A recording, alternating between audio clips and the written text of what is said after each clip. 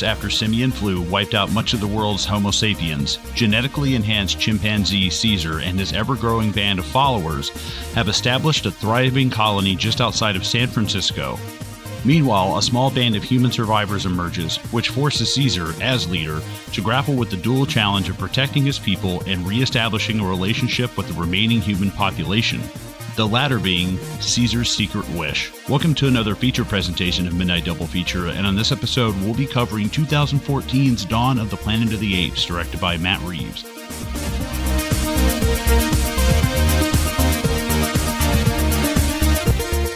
Oh, welcome back, ladies and gentlemen. Welcome to Midnight Double Feature. Uh, here we are covering 2014's Dawn of the Rise of the Planet of the Apes of the uh, Sour Patch Kids or whatever it's called. Uh, with me, the uh, uh, Maurice to my Caesar. There we go. Because uh, of course I'm Caesar. No, you can be Rocket. You can be Rocket. Are you saying my head looks like a bedpan? Is that what you're saying? I, am not saying you look like that ape, but if you had to look like one of the apes up there, that's right. That's racist. no, that's it would. Racist. I, I, it would, in all honesty, he's red and he's got a huge fucking head. That's me. Yeah. That's not you. yeah, yeah. That's gonna well, look. At least, me. at least none of us look like Koba. So yeah, thank Christ. Uh, anyway, well, I could have been Silverback, the gorilla, but I don't think he's got a name. Oh no, I don't. He's just fucking badass. Uh, right. Guys, thanks for joining us for this episode. If this is your first time uh, uh, uh, picking up Midnight Double Feature, thanks for listening to us. We appreciate it. Uh, we are going to go through this movie sequentially. We're not going to talk about it scene by scene, but we're going to break it down in chunks. Uh, we are going to spoil it. There is an E on this motherfucker for a reason. And also uh, stop by and check out our Patreon. It's patreon.com slash midnight double feature. You get access to the green room for $5 a month. You get two extra episodes. I think we're up to like I don't know, 60, 50, 60, 70 episodes now or something. 68, I think. Yeah. Um, yeah. And you get all that just as soon as you sign up. Um, and it helps us out a lot. We're independently funded. Uh, we don't really have anybody uh, supporting the show besides you guys at the Green Room and th- th- those who spread the word and uh, rate and review us. And we always really appreciate that. And if you want to find any of our socials, uh, you can check the show notes uh, down at the bottom. But um, I do, I do want to mention before we do move on from Patreon, um, we did cover Rise of the Planet of the Apes on mm-hmm. the Green Room. So um, you know, some of the conversation leading into Dawn might sort of like trickle over because you know obviously they you know that's the first film in the sure in the trilogy. Um, so if you do, you know, if we are making references to you know that episode, you can go and listen to it uh, in the green room, patreon.com forward slash midnight double feature. There you go, and I think it's one of our most recent ones too. Well, which is so it's it's it right was the, the last one before this, yeah. Uh, it's one of the top ones. So you guys can find it there again, patreon.com slash midnight double feature. Uh, and you can get access to dozens of uh, episodes. Uh, and again, you can find all of this pretty much at midnightdoublefeature.com. But with all that out of the way, I think that it's time to jump into the movie I think we were more excited to talk about than the one we actually talked about on the bonus feed like because I always feel like if we're going to start we had, we've never talked about a planet of the apes before we did the bonus episode. And I feel like you you can't just jump into empire. You got to start with new hope you know? You right. can't just jump right into it. It's it feels weird. Like yeah we all love the godfather too but you have to start with the godfather you know? You you got to do it in order. Right. um and I had we did that for, for for for the Dark Knight, and right. Uh, we are primed to do it for Terminator Two. Uh, I'm yeah. not saying that it's coming down the pike, but we are primed. Yeah, it's been years. It's probably been four years, three or four years since we covered a Terminator movie. Um, I wasn't um, on it. No, yeah, you weren't on that. That's right. Wow, yeah. that's how long ago it was. Um, but uh, yeah, I I think that this you know and and not knocking rise of the planet of the apes. It's a it's a great movie. It's a lot of fun. It's very mm-hmm. good. It's just that you know it's like this is the brother who's six foot three six foot four and the other two brothers are like seven and seven foot two. And it's like yeah yeah you're tall but you're not that tall you know? It's kind of the best way i could describe it. Is like yeah you're you're you're you're up there but you're not all the way kind of like up there. Um and i and i think that you know, it's I think we talked about that. We we said it was kind of like the Mannings. There's Eli and Peyton, and there's that third one that nobody really knows about, but he still fucking slaps like he still wrecks when it comes to football. I don't think you know our audience when you start talking about sports. Uh... I don't know. we got some wrestling fans, so who fucking knows? Yeah. Um, um, but yeah, it, I, I, had a lot of fun talking about that, but I knew that I was going to be genuinely more excited to talk about the next two films as opposed to this one. And I know you kind of were too. So why don't we start with you? What were your kind of opening thoughts, and when, when was the first time you saw this?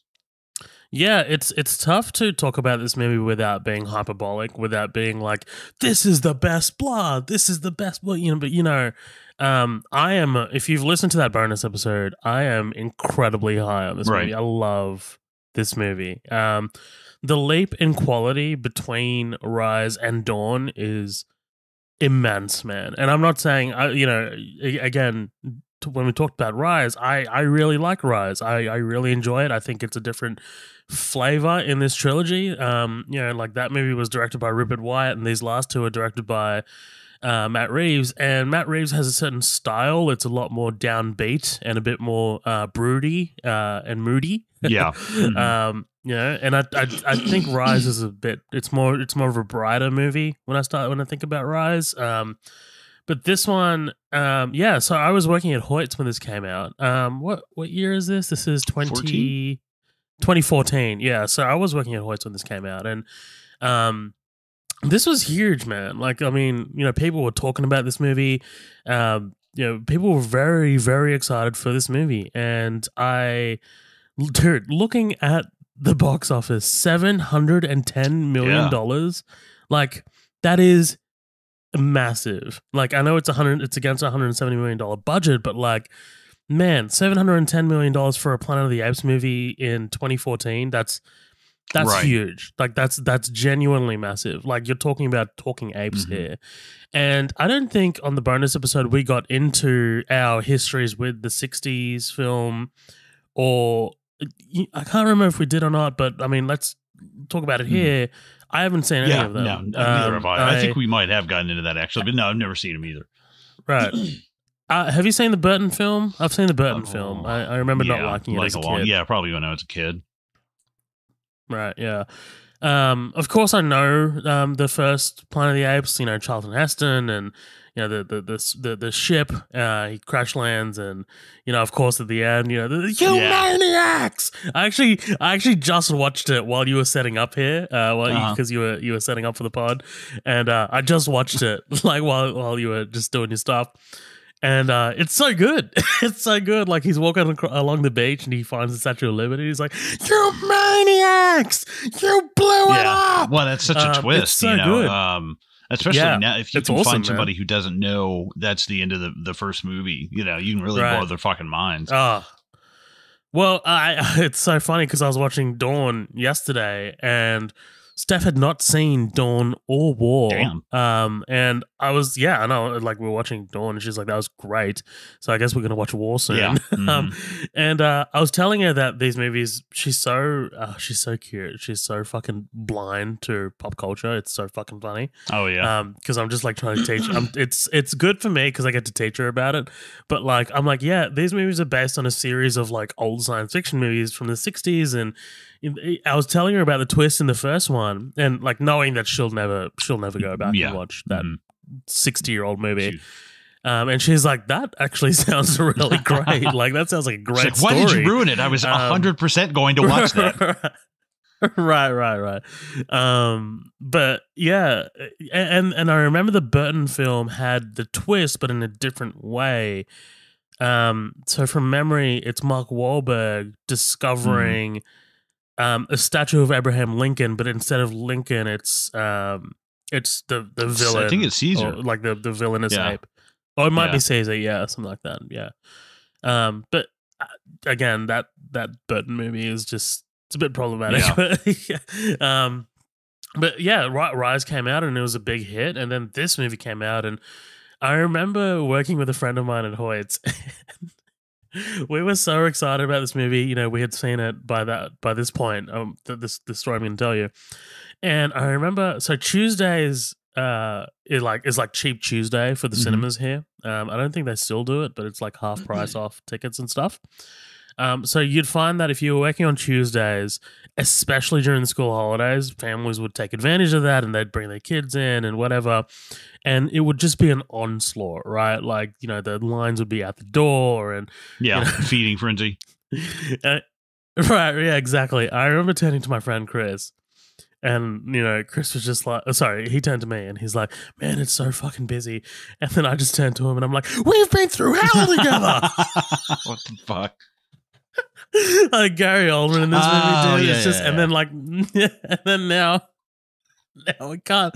uh, Now this like it popped up because I had not, I had not seen this in a very long time. I had not revisited Mhm. this this film in a very long time, and then I'm, I sent him a Snapchat of "We've been through hell together," and I was just like, "We just fucking cracked up, dude."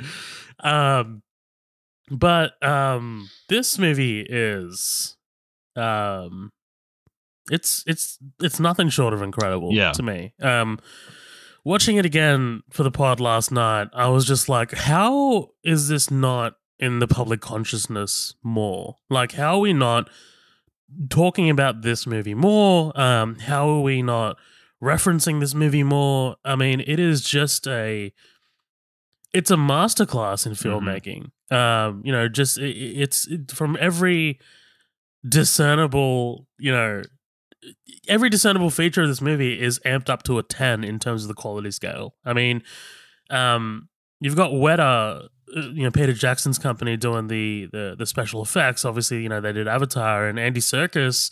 When this movie came out, there was that big, big conversation in the Academy Awards to recognize motion capture as a Yeah. um, motion capture actors as actors, right? And um, un- unfortunately, it hasn't gone that way um, since. But man, Andy Serkis does an incredible job in this movie as Caesar. But I also really want to shout out Toby Kebbell um, as Yes, Koba because yes. holy fuck, especially on this watch, man, I was like, like they are, they're fucking acting, Mhm. man. Yeah. These two, like they are.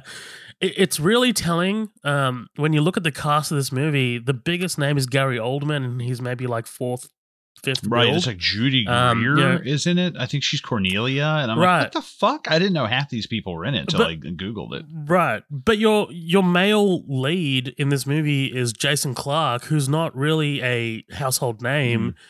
Like he's kind of just like a he's an Australian actor who's been in a bunch of things. He was in Zero, Zero Dark Thirty, whatever. He's a good actor. Um, but like no one knows him by name. I know him by name because He's like he's like that uh, like- Joel Edgerton kind of uh kind of kind of box. I'd say less so. No, I'd say yeah. people know who Joel Edgerton Yeah, is. Th- yeah, yeah. But like no one knows who Jason I, I feel is. like if you I ask, especially where I'm from, if you put the two of them and you're like, name these two actors, where I'm from, they're probably like, I don't fucking know. right, right, right, right. But I mean, you know, you've just got like a bunch of no names in this movie, um, outside of Gary Mhm. Oldman. Um, I mean, Keri Russell for sure. I mean, but she's known for The Americans, and um, Kodi Smith Mc- McPhee would become big later. Um, he was cast as Nightcrawler. That's in, right. In in Apocalypse and Dark That's Phoenix, and he was he was nominated for an Oscar a couple years ago for The Power of the Dog.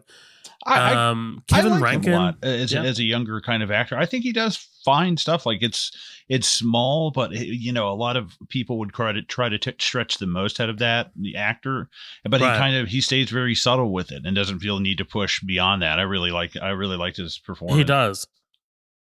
I think the choices that Matt Reeves really makes in this movie, in terms of just like how much human stuff is in this and where to pull back on the humanity of it Mhm. all, is really, really clever. Um, because the focus is always on the apes, pretty much. Um, the focus is on this colony that Caesar has uh has has created, and not only that, but the values that he's trying to instill on his son and Koba and how to lead.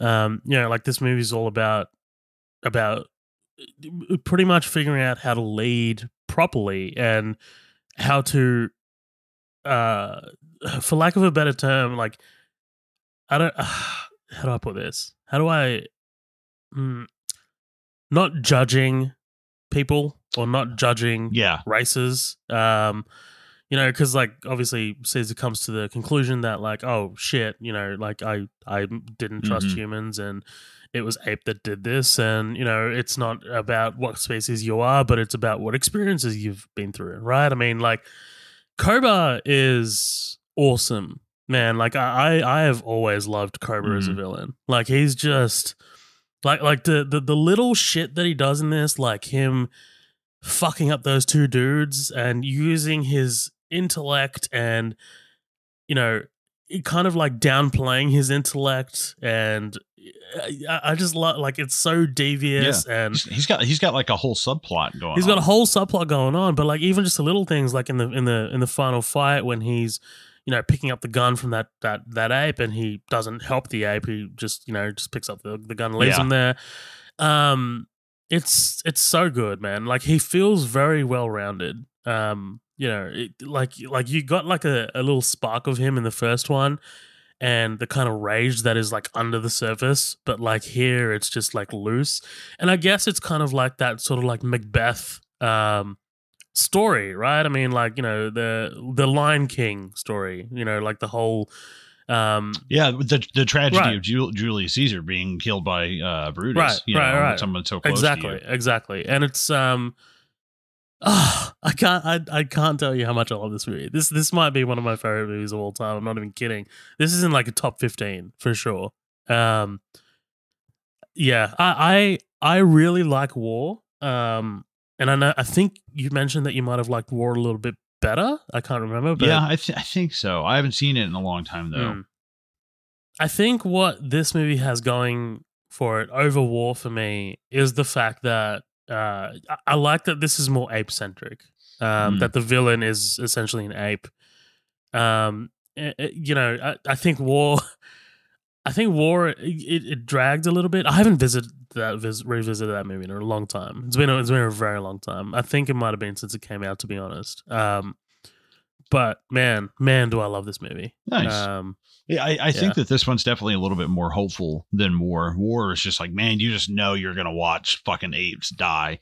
Um, Billions Blade Runner, like this is definitely this is definitely skyrocketed up there. And the thing is, so much newer than all of those, but uh, you know, based off of a of, of, of a property that was 20 years older than those movies at the time, you know, or 10 years older, uh, or or however.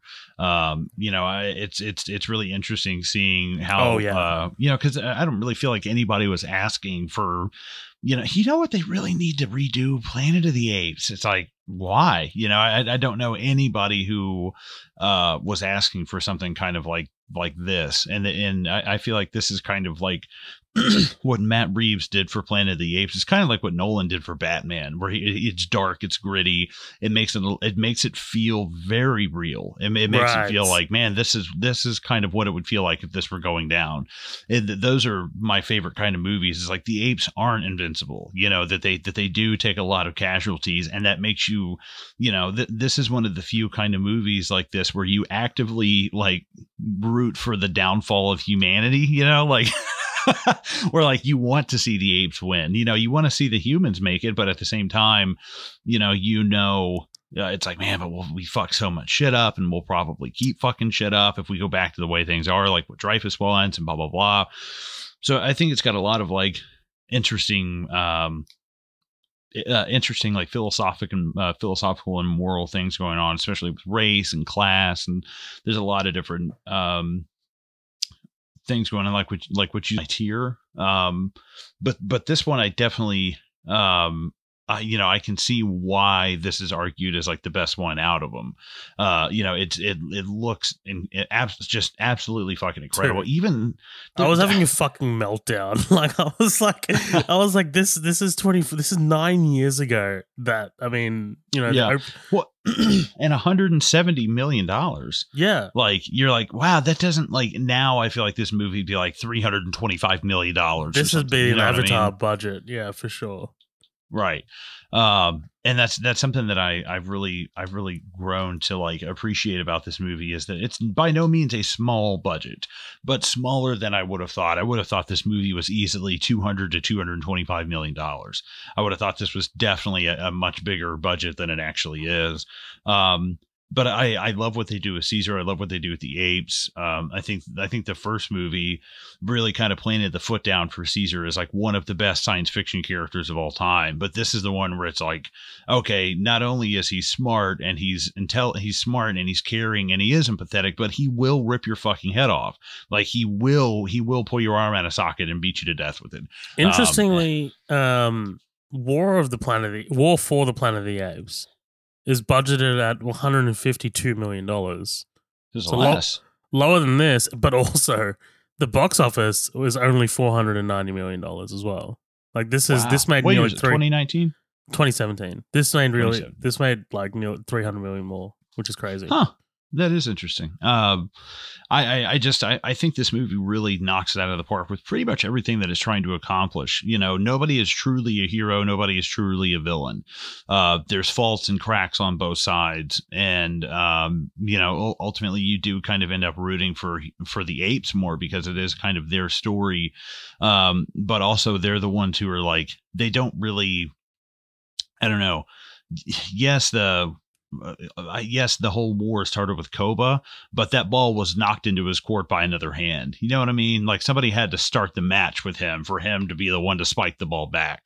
You know, like somebody tortures him and then Koba, every action has an equal and opposite reaction. If Koba had never been tortured, blah, blah, blah, you know, it, it kind of is like it's a war, but it was something that had been going on for so much longer than that. And a lot of these apes' uh, lives and seeing, you know, God, how many other friends have fucking died, or how many of these apes like watched, you know, them them test makeup on an ape, and it's like, oh yeah, it fucking turns your asshole inside out and your heart explodes. Ah, we can't use that, you know, and it just shovel the ape off and shit like that. Yeah, Um, it's it's interesting um, that this comes up because Guardians Three is currently out in cinemas right now, and there's there's a lot of like um, Rocket Raccoon's backstory, which is very similar to Koba's backstory, um, Mhm. like the the torturing and the experimentation. But like that's also really tied into the plot of that movie and like the like like fixing broken things and experimenting to create something better um and you know how human it is well how inhumane it is rather to be to be doing that. Yeah absolutely. Right, right. So uh, yeah, I, I really I, I love this movie. There there's nothing in it that I really see that like I would have to go looking for picks to nitpick at. So there's really nothing there that like and not saying that's something I actively do, but there there's like there's times where it's you know you watch something and it just kind of like ah there's something I don't like about that and you have to kind of figure out what it is, but Mhm. you just know you don't kind of like it and there's nothing in that movie that really happens for me. I think this that this goes down so well for me man like yes, it's- yes. ugh. This is this is like a well made, a very well made cocktail. It's it's it's it's a longer movie, but it's not too terribly long.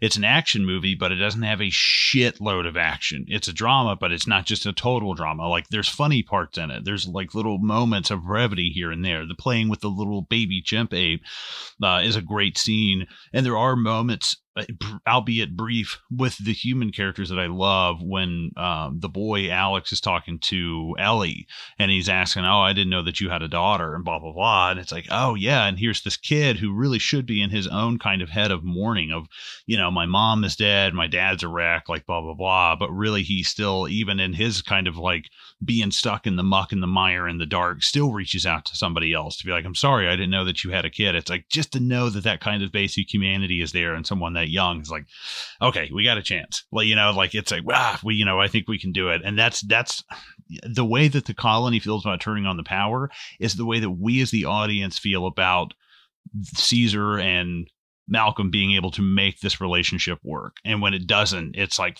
fuck. Like you just Yeah. fucking god damn it, dude. Yeah. Like and it, everything in you, it makes you so fucking mad that they just can't get this thing to click because you know what's coming. Like you know it's going to be bad. You know nobody is going to make it out of you know um I don't know, you know, obviously it's it's like Caesar, it's like it's like all these like middle-aged white guys that he becomes friends with just end up fucking getting the, you know, cuz James Franco is obviously dead in this one. Um Right. but there is kind of like information on what happened to Malcolm in between this and war. Um Oh, is because? I was yeah, I wondered what happened to him. And if you don't want to hear, skip ahead 15, 30 seconds. But basically, uh, Colonel Harrelson in the third one, whatever the fuck he's called, he kills colonel Malcolm. kurtz Yeah, Colonel Kurtz. Yeah, Colonel. Uh, yeah, Colonel uh, Dallas from uh, No Country. Um, but yeah, he basically kills that his character over that because he thinks he's spreading his idea. His ideas are going to spread of like, you know, oh, they're not bad people. We can make this work, or they're not bad, you know, apes. Like we can make this work, and blah blah blah. was that in like a Um, comic book or something or No, I, I, something that Reeves in an interview he was in, whether it was a script or a draft that he mm. wrote, but it was Reeves himself that confirmed it. And I was like, oh, okay, that really that makes it canon to me. You know, that yeah, makes it hundred yeah, percent. You know, um, which uh, I've said these would, and if they, I would be very surprised if they aren't comic books already. I'm sure that they are. Oh yeah. Um, but the video game, man, where is the video game of this? Like of this movie? It's just like, uh, like um, you know, a Halo Two you play as the chimps, you play as the humans, you play as you know, and you go back and forth like Arbiter and the Chief. Something like that would be an incredible game. I think you'd have so much fun, or even like a real time strategy where you control groups of apes and collect resources. That'd be a lot of fun. Uh, but I, I love this movie. I thoroughly enjoyed it. I don't have a problem with it. Um, it's like a great meal. It's just like it's not too fattening, but it's not. You know, you don't feel like you're walking away uh, leaving stuff on the table. It's just like, ah, oh, man, it's just, it's a great, it feels like a, like a great meal.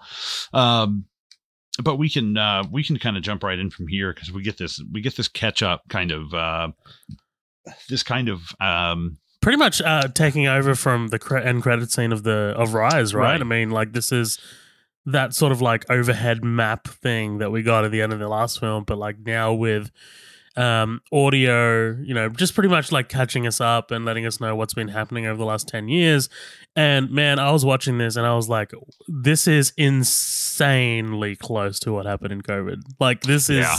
Yeah. ridiculously close. Like, I mean, you know, it's the. It's the quarantine zones, and it's the unable to leave your house, and then it, it, the the level of um, just how much they got right in terms of escalation because like you know by the time um you know the virus spreads people are fighting and people are looting and i'm just like yeah this is this is 100% accurate like you know in a pre-covid world when you're watching this you're like ah you know i didn't think there'd be war over this but like it's mm-hmm. like yeah I, I i think if covid went on for long enough then you know, COVID, mm-hmm. COVID obviously still exists, but like if the r- rules and regulations went off went on long enough, then right. we might be right. seeing a similar situation, which is and not the, which is not too far removed from this, which is wild. Well, and, and and the more and if the mortality rate was like you know if COVID like killed ten times more people, but then it also made rhino super strong, we'd be like, oh god damn it, you know, like. well, um, okay, but hold on. So the simian flu, but okay, the the the simian flu, and the and the chemicals used to make Caesar and his friends smart. Those are two different things, though, right? Like that's one does not have, you know, one one does ha- not have uh, anything to do. with I don't other, know. I I right? think I don't know if it ended up making the ALZ stronger or, but I feel like it's a that's almost too much of a coincidence to be like, oh, mm. there's the super flu and also the apes all got strong. And it's like Okay, well, I, I, think you need, uh, and and maybe I'm wrong, but uh, the way that I've interpreted it is that the ALZ basically infects humans, but makes the apes, you know, uh, incredibly strong. Uh, that that's that's kind of or m- more intelligent or more strong or whatever. Or the flu is just a byproduct. Uh, right. maybe it's not like you know it just developed over time, but it, it I I don't know. Um, because it is Caesar that bites that guy. You know, it's Caesar who infects yeah, that, yeah. that dude, and and I feel like isn't okay. I might be wrong, but isn't that speaking of which, we're about to cover Tucker and Dale versus Evil. Yeah, that's Tyler Dale. Labine. Yeah, yeah. yeah. what he a weird, a great show called uh, Reaper with Ray Wise. He, yeah, he's great. I like that guy. What, what a weird like ding ding ding uh, simulation world we're living in. That is wild. Hmm.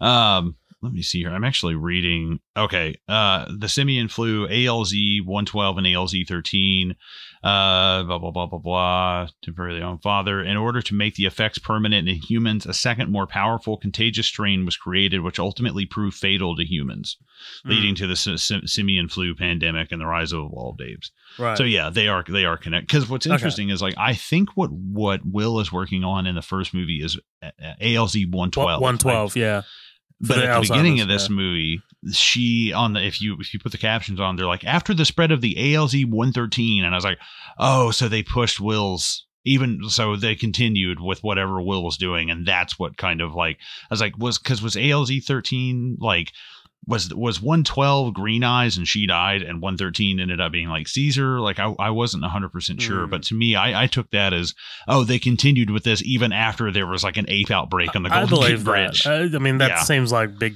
big pharma to me. so- Right, right. Um, we get this nice little uh, kind of like a, what catch what catches us, catches us up from the first movie. Uh, we don't know it yet, but it's been ten years. Something more. Maurice says later on. It's been ten winters. I'm like, I love the way they put stuff.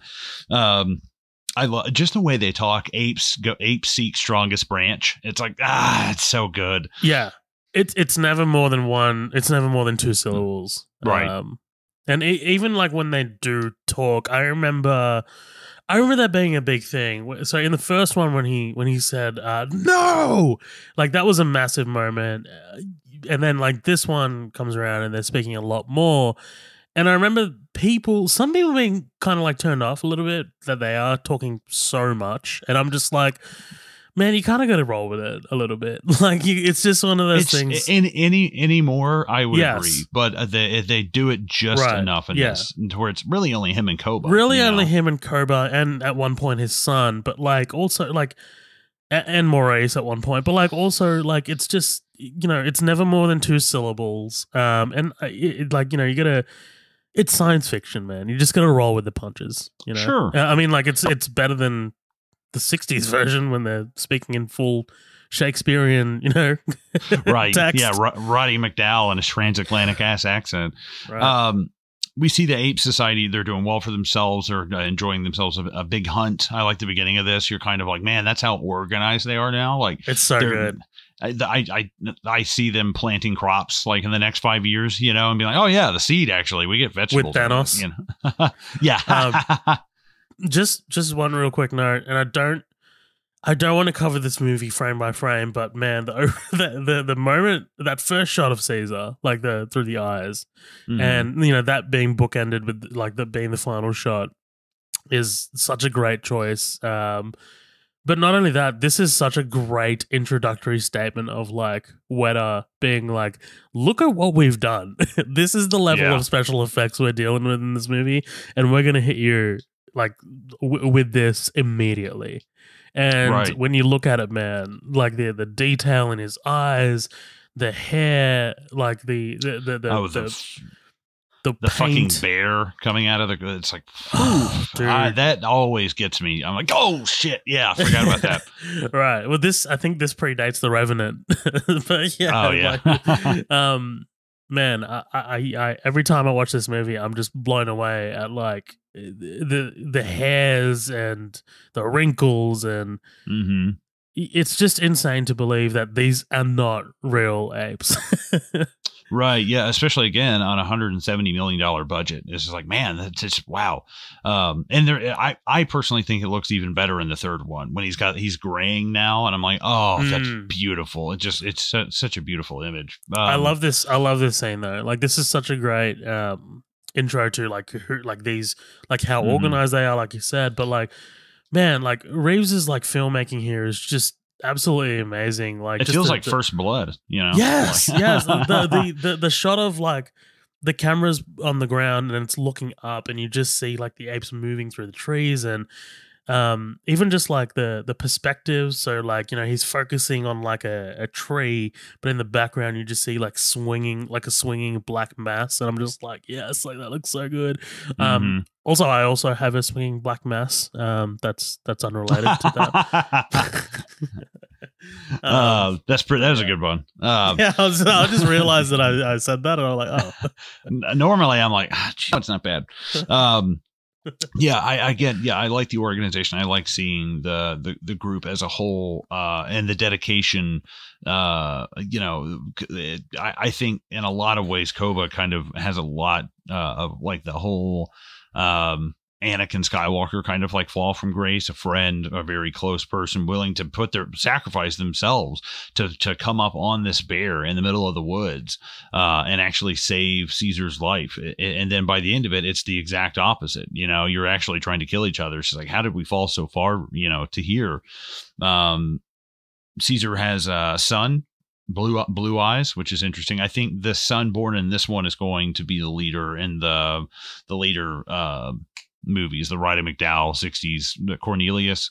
oh, okay, that's interesting. Um, I think he's also in this new film that's about to come out. Um, I hope so. Directed by Wes I hope Ball, so. yeah. Kingdom. Yeah.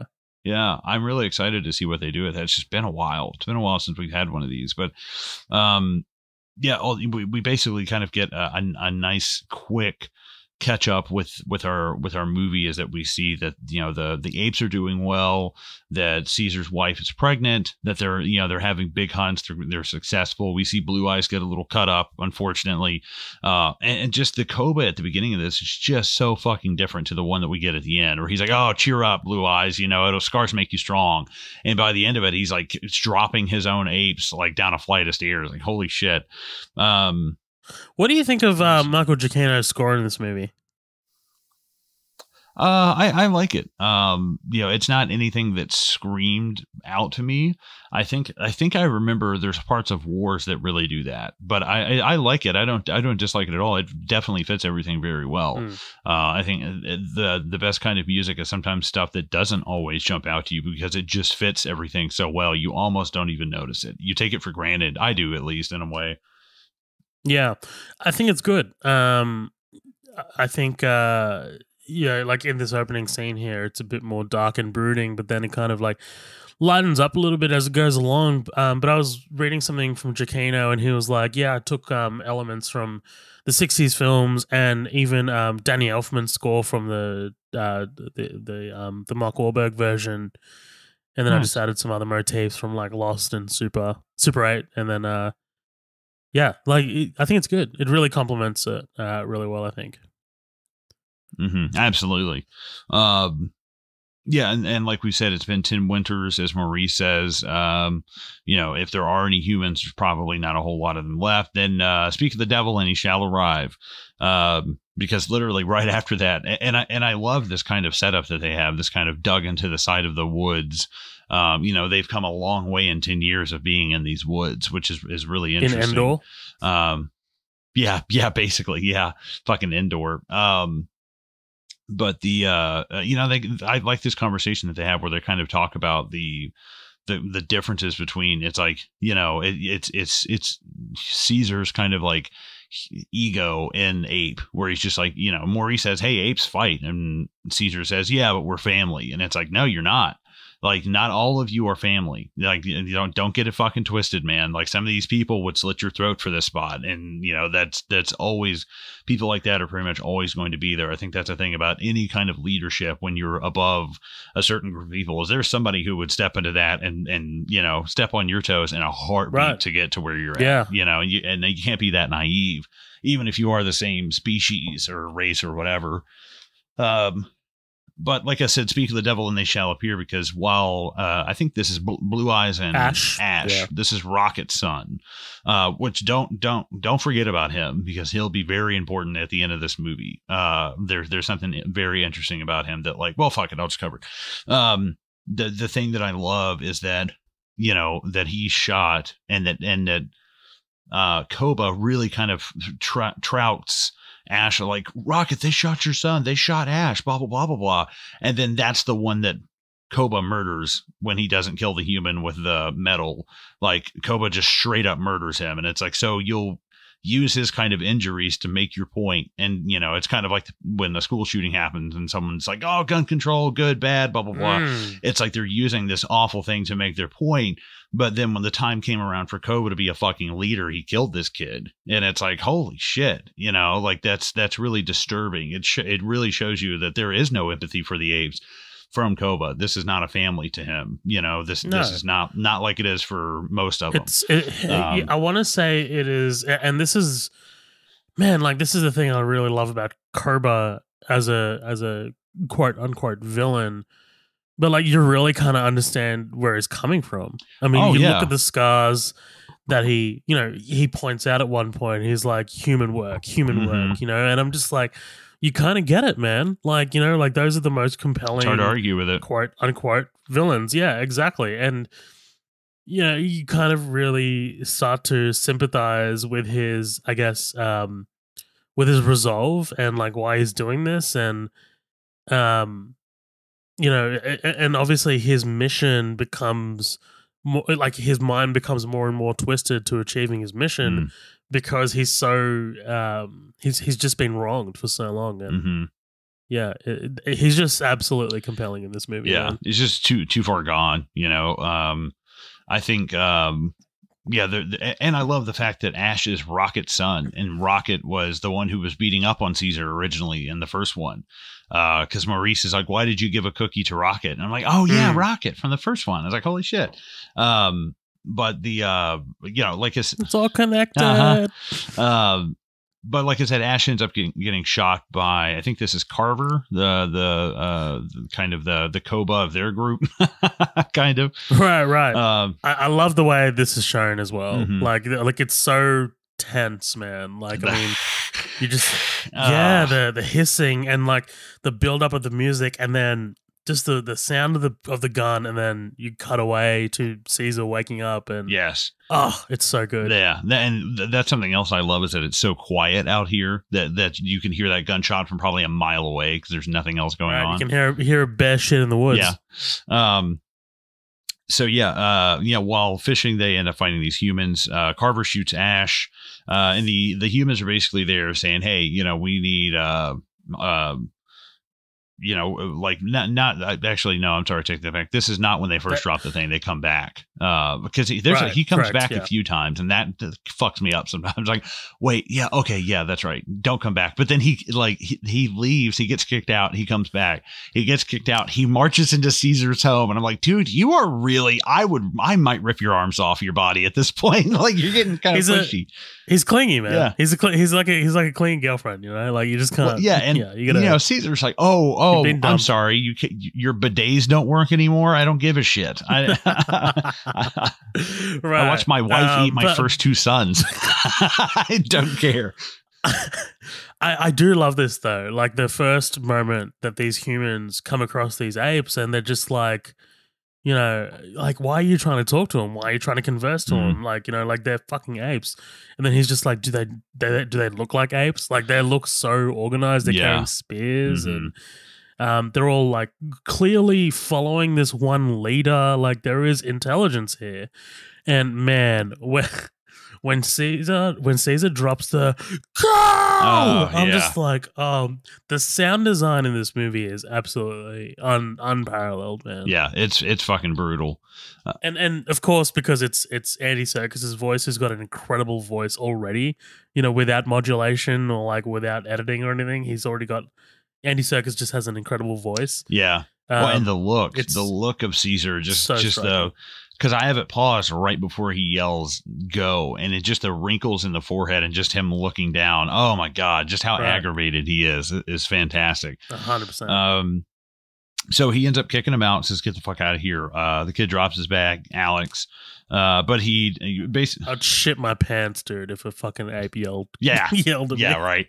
Um, and he ends up um uh dropping his bag, which Maurice collects. And Caesar, you know, he's he's no fool though. He sends, you know, obviously people to track them and watch where they're going. Um, Cobra. Right, yeah, Koba specifically, uh, which is which is interesting. It's like the people that you think you can trust with stuff, um, and uh, ultimately, you know, they they make it back to the colony, and we're introduced to Dreyfus, who's played by uh, Commissioner Gordon. Um, no, no, it's played by Gary Oldman, the fantastic Gary, Gary Oldman. Uh, what did you think about Dreyfus in Man, this? Gary, dude, he's so good in this. Uh, It's, like it's such a brief they role, gave him- you know. it's such a brief and fleeting role because it's not really the villain. Like, you know what I mean? Like, it is in, in it is in an, sort of like an antagonistic sense, but he's not the villain. I wouldn't say in this movie. Like, you know, if there is an antagonist in this movie, it's Koba. It's not Dreyfus. Um, Mhm. but like I can see how one could make the case that maybe he is, but I think there's a lot of self preservation in in this character. Um, when I say self preservation, I mean self preservation in terms of preserving the hum the humans, right? Like Right. the human group. I don't I don't mean just himself, Right. but like, um, he man G- Gary Oldman to quote to use a Twitter colloquial, colloquial, colloquial, colloquialism.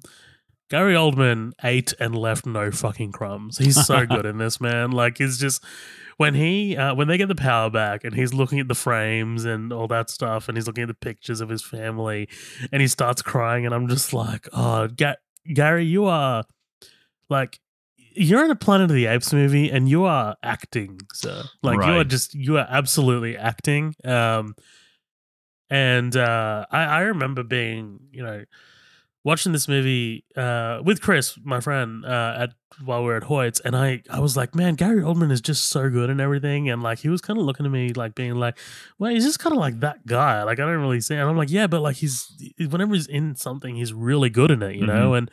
2014 was really like the kind of era that I was really into like Leon the professional and stuff and like going back and like looking at like Gary Oldman and I was like yeah Gary Oldman is man he he can cook like Yeah, you know he Let can, him cook. he can cook man Um, yes exactly exactly he's so good in this man I really dig him yeah, he- I, I- I think he does a pretty good job. he's got two speeches in this movie he's got two speeches Yeah, uh, uh, yeah. and both of them are good I want to say he's. I I would say he's probably collectively in this movie for less than ten minutes. I feel like, like Mhm, very, very sp- sporadically. I feel like he's in this. Um, we've been through hell together yeah. um, yeah. So, uh, and, and they tell Dreyfus what's going on. Uh, basically, the dam's there, but uh, you know they're organized. There's maybe about eighty of them, uh, which is a that that's a great line later on. He's like, "There's a hell of a lot more than 80. Um, and you really get the sense that just how cramped and packed in these humans are here. And Dreyfus says, "Don't tell anybody what the fuck is going on. I don't want to start a panic that I, you know, if I don't have to." Um, you know, he's not a terrible leader. You kind of get the sense that, like, yeah, he really does want these people to thrive. Right. And I was trying to figure out like how he became he came to be in this leadership role. And I guess it's because you know, they don't mention it. Um, but th- there's a very brief moment where he's looking at a photo and he's in the military. Yes. Right? So you know, he might have been a colonel or something, um, like someone really kind of like high up, and Mhm. I don't know. But I, I do like that they don't give us a lot. Like they kind of like leave us Mhm. Leave us sort of like guessing or wondering. But like he does say, um, he does say that he and um, uh, Malcolm founded this place, Right. Like you know, he like both of them together. So I kind of wonder whether they were both in the military. Uh, well, Wikipedia has Gary Oldman as Dreyfus, an ex police officer. Um, Could be both. A lot of a lot of guys leave Yeah, the service and yeah. end up become becoming Yeah. cops and stuff. Um, I also don't want to go past Keri Russell's character Ellie Mhm. here, who mentions that may that you know we're all immune. Like this is why, this is why there's this society of humans because we're all immune. Right. Yeah, that's that's definitely really and that she worked for the CDC. Uh so she knows Correct, what she's yeah. talking about. But um Also, Malcolm and Ellie not an item. I really dig that. Um, they are not. They were not together. Um, well, are they together in this? They're not. I definitely think they are actually. Well, okay, but I don't. I I like that they did not start together. If that makes sense. Like they don't. Oh, gotcha. Gotcha. yeah, yeah. Right. So it was already like a pre well, and you get the sense it's not like a romance, it's like a survival kind of thing. But yeah. you know, they they are widows and widow uh, widows and widowers and they're kind of like picking up the pieces and and helping each Right. other through that as well. Um Well, it's one of those situations where, like, you know, there's there's not many people around, and everyone kind of looks like tens. But you know, Russell. Yeah. but, I mean, look, it's it's Um, Keri Russell. Yeah, Right, but yeah, uh, back at the eight base, the uh, the the kind of higher ups, the leaders in the group are arguing over whether or not to go to war. Caesar says that he will decide by morning. Uh, you know that going to war is not the best thing for us.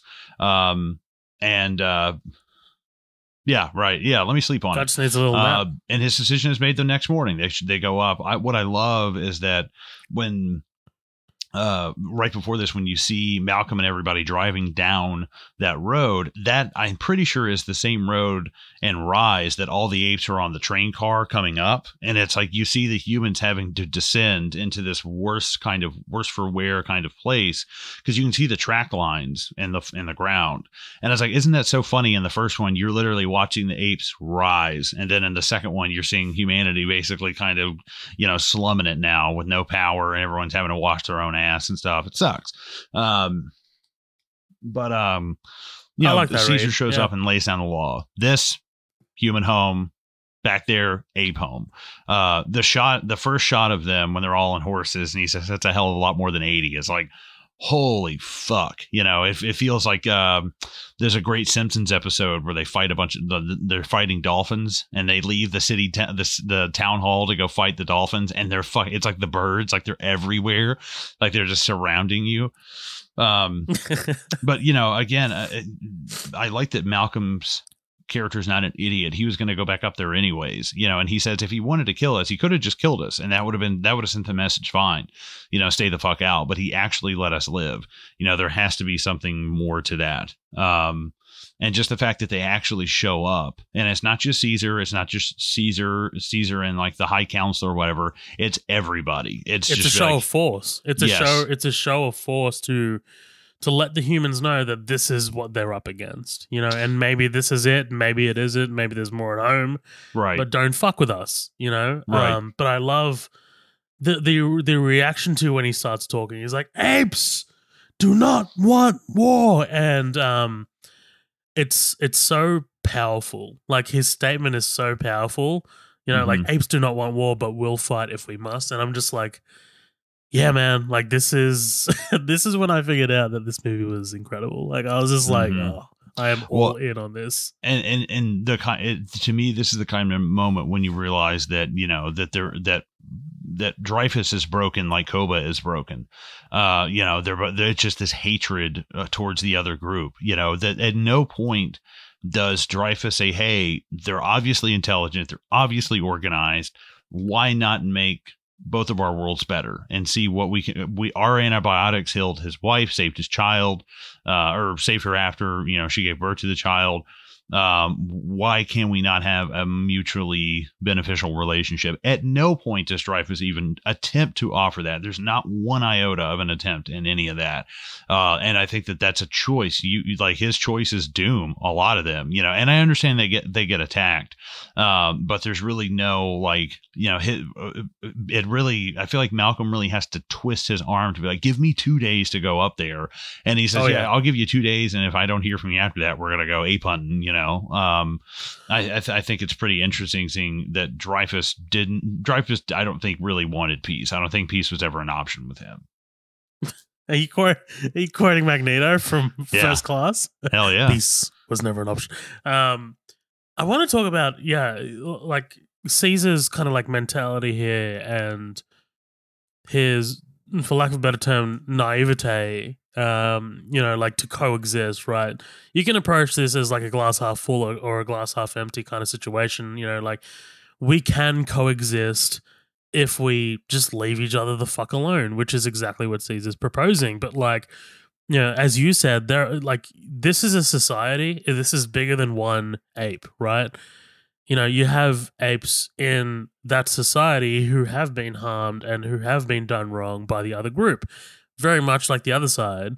Where, uh, in in Dreyfus's way, uh, sorry, in Dreyfus's situation where he's been done wrong by Mhm. the apes, and it's just it's this naivete on Caesar's side to believe that they can get along and coexist and you know and and and you know kumbaya and hold hands and whatever but Right. like that's just not the case and it reminds me of like I feel like that was imparted on him by his, uh, I guess, surrogate father in the first in the first movie. Like you know, his first like hmm James Franco was very naive, you know, believing that uh, the 112 could cure Alzheimer's, right? And at one point it does, but he was kind of immune to the side effects. Like he didn't really look at the side effects. He's like, "Oh, we'll just worry about that later." Like you know, he's Right. like, "Oh, whatever." Like you know, like let like as long as we achieve the main goal, we'll figure everything else out later.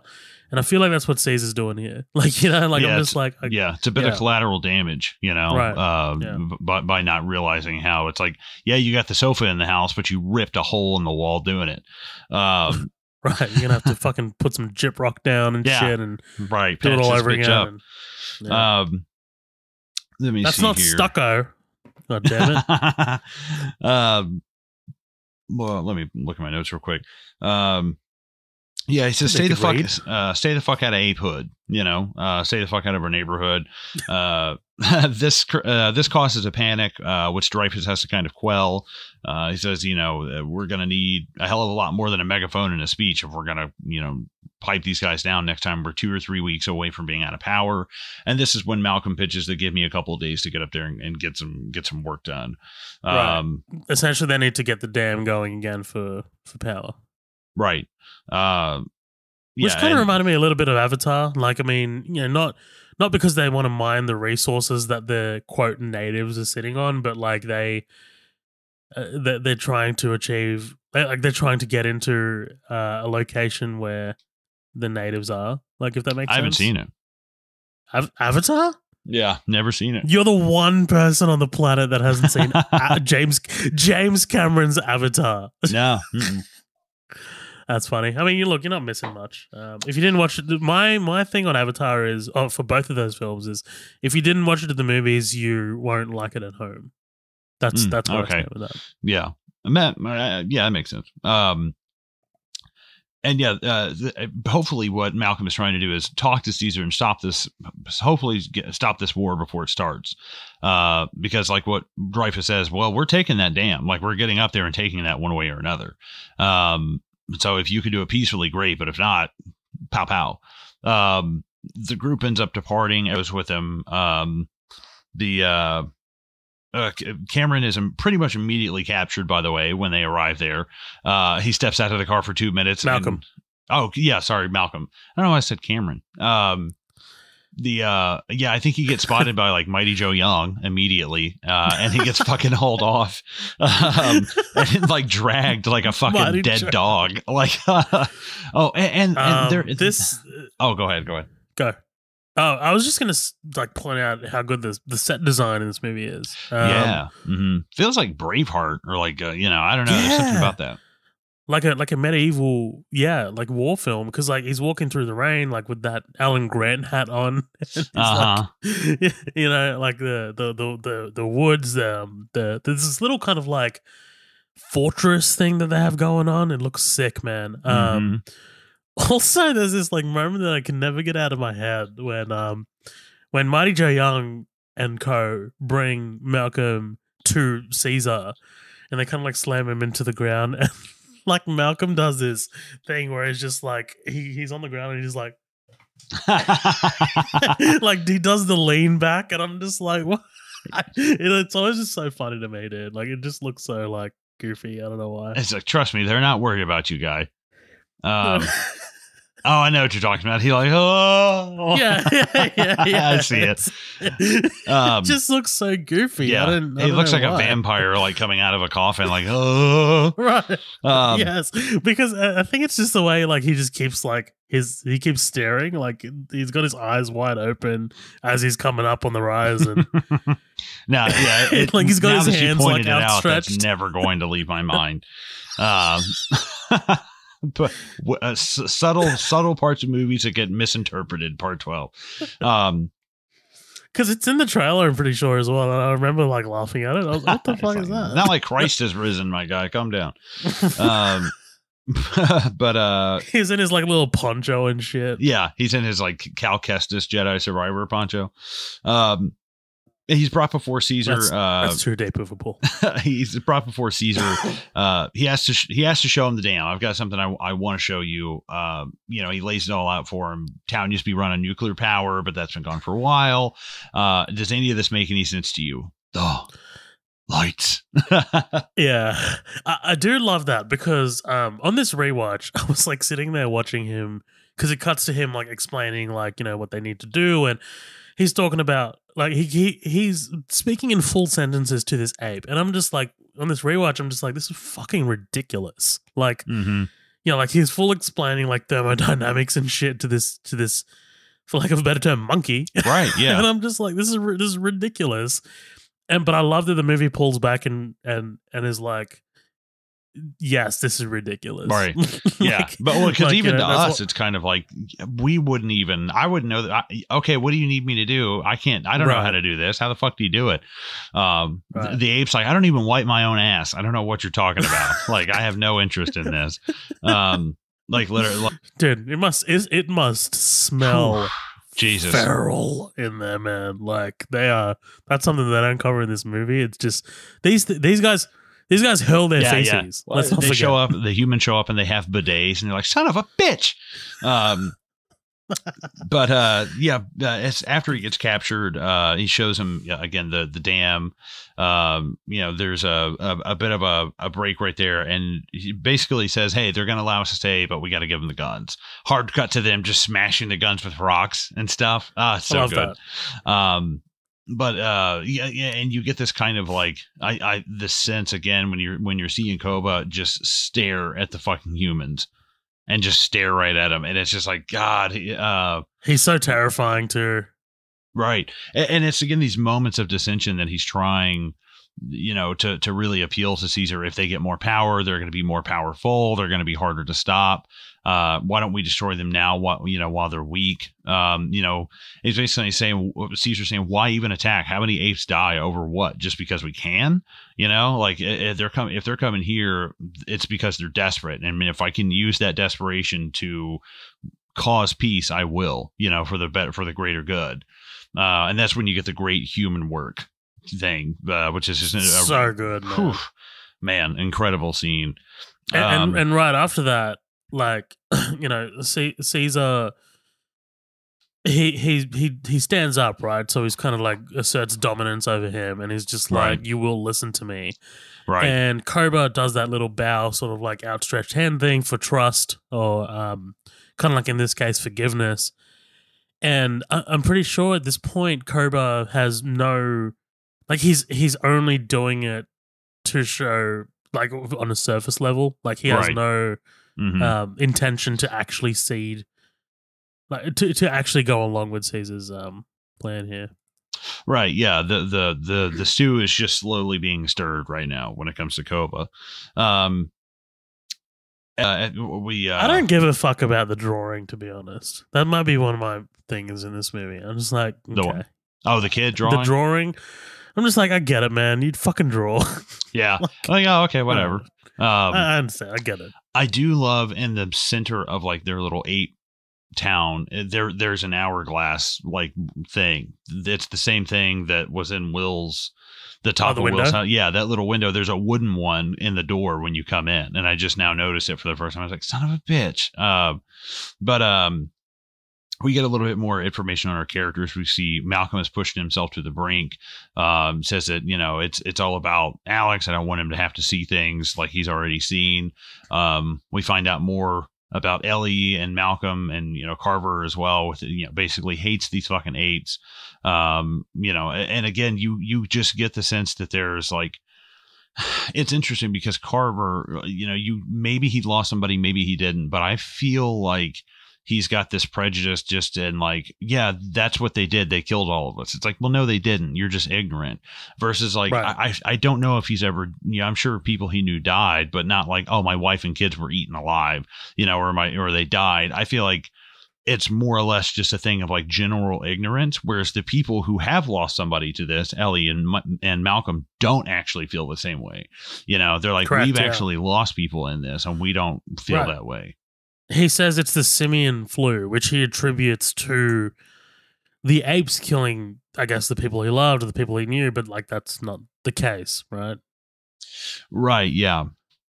Um I, I at least that's what i take from carver. He just feels like that guy who's just like i just don't fucking like him. And it's like why? You know A- a- and it just seems like this kind of Black people, am I right? Yeah, kind of. Yeah, there's that one guy at work who's like, "Listen, dude, I'm not racist, but it's like, yeah, whatever, whatever." Every to say. sentence that starts with "I'm not racist" or "I'm not sexist," Yeah. I mean, I can guarantee you, it's gonna be sexist or racist. Oh, I beat him to the punch. I'm like, listen, I am an avid racist. I was like, but my thing is, that way it the fact blow. that you need to start your sentence with "I'm not racist." Yeah. Okay. Uh-huh. All right. Listen, I'm not a pedophile, but um, no, but um, we uh we see them kind of talking over dinner about lost children, lost spouses. Uh, Carver really kind of you know gives it to him. Oh, I'm the asshole, huh? And and gets sent off. He he wants to stay up and um what's interesting is when he goes, "Well, I think we should stay up in shifts," you know, and they go, "Why?" They took all of our guns, and it's like not all of them, and that's kind of like, yeah, why would you suggest that unless you had a gun? And you know, you don't know it as of yet, but yeah, he's packing that shotgun. Carver's a little, he's a little tightly wound. He needs to just have a little. Yeah. He needs to chug the chicken. You know, he Right. needs to Yeah, you need to interbreed, man. You got to find you some ape chick. uh, District Nine style. Yeah. no interspecies relations. yeah, yeah. Um, but he's like one of those guys that goes to Vietnam and like hates him at first, and then ends up marrying like a Vietnam Vietnamese lady at the end. right. Um, Nobody's got a hand job in cargo shorts since Nam. um, let me see here. Um, yeah, they lose. this they is um. Well, uh, we're we're kind of going to San Francisco now because we're following Koba, right. Yeah, um, who's kind of like on this reconnaissance mission. But like, this is one of the the moments in the in the movie where the the score I really start to like really dig, like because you transition over to like the um like Koba and the two apes sort of like scaling the the Golden Gate Bridge, and it's like ba-da-dun, dun dun and I'm just Uh-huh. like, oh yeah, I, I dig it, man. I like it. It's cool. Um, but yeah, Koba comes across these two sort of like guards who are um, practicing on the firing range, and I do like that we get two scenes with these with these guys. Mhm. Um, it's not like Koba just kills them like right off the bat. He kind of like sizes them up first and figures out that they're not the sharpest tools in the shed, and maybe I can actually outwit them here. Um, and this scene is incredible, dude. Like the the the the tension of like you know these two pointing their guns at him and Koba actively trying to decide what how to do how to deal with the situation. Um, you know, knowing that he will get shot if he starts to attack. And the music builds and builds and builds, and then it's just released with the raspberry. And I'm just like, it's so good. It's Yeah. so fantastic. And then Yeah. the little shot of like Koba as he walks away and he drops the act. It's just like, ugh, I had to fucking do that. Like, you know, like, Mhm. oh, it's so good. It's so good. well, and I think I, I I think the guy on the left is a comedian. I think he was on like the Bernie Mac show and stuff back in the day. But I I, I might be misremembering. That was like twenty years ago, so I might be like mistaking him. Oh, okay. Um, the other guy, the one with the long hair, Kevin Rankin, he's been in a bunch of stuff. He was in like White House Down. He will be in Breaking Bad when we get to it. Um, Oh, cool. I'm pretty pretty sure we've talked about him on the podcast. I can't remember what movie, but um, that name sounds familiar. yeah, let me. He usually plays like stereotypical, like, Like um, like McPoyles. yeah, yeah, yeah. Uh, he was. Oh, there we go. He was in Hell or High Water. He was Billy Rayburn. He was. uh It's Billy Rayburn. Yeah. Oh, fuck. Yeah, this is going to take too long. Um, the uh, uh, like you said, we get this great scene with Koba. I love, I love the tension here. I love the way that this is ratcheted up, and that he doesn't, you know, I don't have to make a move right now. The the number one power is in, is Intel, and I know now where I can find weapons. Uh, and I know again, like you said, I, I found an ex- exploitation in these fucking idiots that I can kind of exploit. Um, back at the uh, eight base. Sorry, he was the he was the bank the bank manager in Hell or High Water. That's Billy Rayburn. Oh, okay. There's only one bank manager in in the movie. Yeah. That's right. That's right. Um, back at the eight base, like you said, we get this great team with Ellie and Alex. Um, we have trouble as we uh, kind of get this cave in that happens on Carver, who ironically has to get pulled out by the apes, which is hilarious. Um, it's it's like the it's like the skinhead that gets a heart transplant by a black doctor, and I'm like, yes, oh, that's so good. That's so fucking good. Um, God damn! I don't. Where, where'd you get your degree? yeah. um, It's but- like dude has never seen the inside of a university, and he's just like, "Where'd you get your degree?" right. Yeah. Uh, Um, th- I don't know. They say that uh, white people still rock and roll, but I don't know. I think it's the other way around sometimes. uh, like uh, he's he's the one guy that can just has barely any proof and is somehow, yeah, you know, they used to say they were slaves, but I think it was uh, you know, when the Irish came in on the in the twenties. It's like, oh, okay, calm down, my guy. Um, and then my Italians. yeah.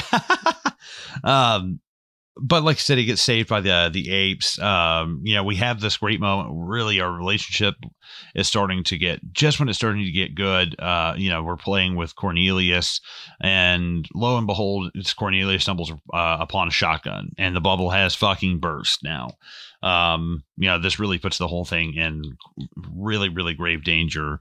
Um, and, I, don't, uh, I don't know if you mentioned um, just real real quick. I just didn't want to go past without it being unmentioned, but um, the birth of Caesar's son, right? Did we go? Oh no, yeah, no, I did skip that. Thank you. No, no, no, that's all right. I'm just like, there's not really that much to talk about there, but like, yeah, just before we get the discovery of the shotgun, there's a really nice moment between Ellie and and the the son. It's it's actually really Mhm. adorable. Yeah, Um, because that that, uh, yeah, it yeah, he looks he looks amazing. He looks awesome. Well, yeah, and like I said, you know, you're really starting to get these great moments of brevity, and, the, and you know, she's playing with him, and everyone's smiling, and even Caesar seems kind of relaxed, and then you know, this all kind of breaks bad. Um, and he tells him, "Human, go now." You know, human gets the fuck. out. It's not that you had a gun, you know, and it's not that a gun was pulled on me. It's that my my, my brand new child was here and discovered the gun. Right. Like that's that's the fucking that's like the biggest issue here. Um, yeah, you pointed a gun at my son and said, "I'll kill you." Like, Right, right. bruh. Right. Um, and you can see it actually in the next scene when they come back in on horseback. There's that little glass uh, diamond above the door when they come in on their horses in case Oh, you're yeah. looking for it, I see it now. Um, Caesar rushes to Cornelia. Um, again, we get Malcolm pushing his fucking luck. He's asking for a beheading. Uh, he uh, he says, "Listen, we can we can help her out. We're not all like him. We didn't know he had a gun." Um, Ellie has medicine. well, yes, yes, hundred percent. And I feel like that. I feel like a, a lot of people have been in this position before. But even when we started this podcast, there was kind of a joke of like, uh, yeah, like I know your family's Muslim. How Muslim are you? And you were like, yeah, I know you're Southern. How Southern are you? And we were we were both like not that fucking Southern and not that fucking Muslim. You know, that's I was just like, I was just like, well, you contacted me, so I'm sure you've got, o- you've, you're somewhat okay with other skin colors. Yeah, right. But it was funny. You kind of had to, you know, we didn't really know each other. You had, kind of had to pat each other down at the door. But that's kind of like, I feel like, um, you know, someone's like, oh man, you know, they know your brother or your dad. And it's like, yeah, but I'm, I'm really not like them. You know, I'm, I'm a little bit different. Uh, you know, and, and it, it sucks having to kind of prove that case. I did think it was weird when you asked me to move my, remove my, my prayer helmet, my prayer hat. when you I sent me a thought that was a Bible little- and a rosary in the mail. I thought, I Um, thought that was a little weird, but yeah. yeah, that's fine. I guess it's um, sacrifices we make, right? yeah sacrifices for this podcast um but yeah he, he kind of is making the pitch we're not all bad people you know it's it's it's just uh, there are bad seeds and Mhm. the, the the problem is that caesar has not been in leadership even though 10 years is a long time to be in leadership he hasn't had a conflict with some kind of mutiny with some kind of uprising Right. with koba He's he's been in isolation. Sorry, he's been in, in leadership in isolation. Right. So he's really only had to lead his own people, Mhm. but never in the face of a threat from an outside community of another ape community or another human community. Right. Um, like like the, he's never really faced a challenge like this. it's a bit So- easier to keep people in line when there are no other Yeah. options. You know, it's like, Yeah, oh, I'll just go work at. Burger King versus McDonald's. It's like, no, there's only Wendy's here, motherfucker. And I think I think it's really astute of Koba to kind of use that as an argument. Like, you know, kind of like Koba to be like, hey, like, I mean, you know, like, because at one point, like, there is very early on, like, after he shoots Caesar, um, Koba assumes power, Mhm. but he doesn't do it like straight away. He's like, oh, they shot Caesar, like, whatever. and we then, fight like, for kinda- Caesar. Yes. Right, we fight for Caesar, but like then it becomes like no, these are Koba's. Like everyone follow Koba now, Right. Like you know, hmm so it's not like yeah. Like my point is that like Koba eventually sees an opportunity where he's like, Caesar has led us, but he hasn't dealt with a problem like this before, and I think I can. I think I can deal with this. Mhm. Right. Um, no, I think that's a great point. Um, like I said, we he ends up uh, you know, uh, giving Cornelia these meds. They kick Carver out. I said, "You've got one day. Uh, we might need a little bit more." Again, pushing. You know, again asking and reaching, and Mhm. it's like, "What day?" And I, I love that. And he's like, "Apes will help." and just he kind of throws that in at the very end. I think he realizes how ridiculous. He's like, "Oh, okay." Um, so they they at least they get the one more day for for helping Cornelia, which I, I don't think they know she's hundred percent like back to you know normal yet. But uh, Koba returns and he puts Caesar on blast for treating humans uh, too lightly, but Caesar whoops that ass. Uh, you know he he he he chokes him out like a bitch in front of everybody. Uh, oh, dude. And Uh, okay, uh, so I don't I don't love the ape on ape skirmishes. Like that's not really like my my bag with these movies. they're very Like, I'm just sloppy. like- they're very just two animals beating I'm on just each like, other. yeah. I mean, like that's it. That's exactly it. It's like, what kind of variety can you get? But like the lead up to those skirmishes is what I like.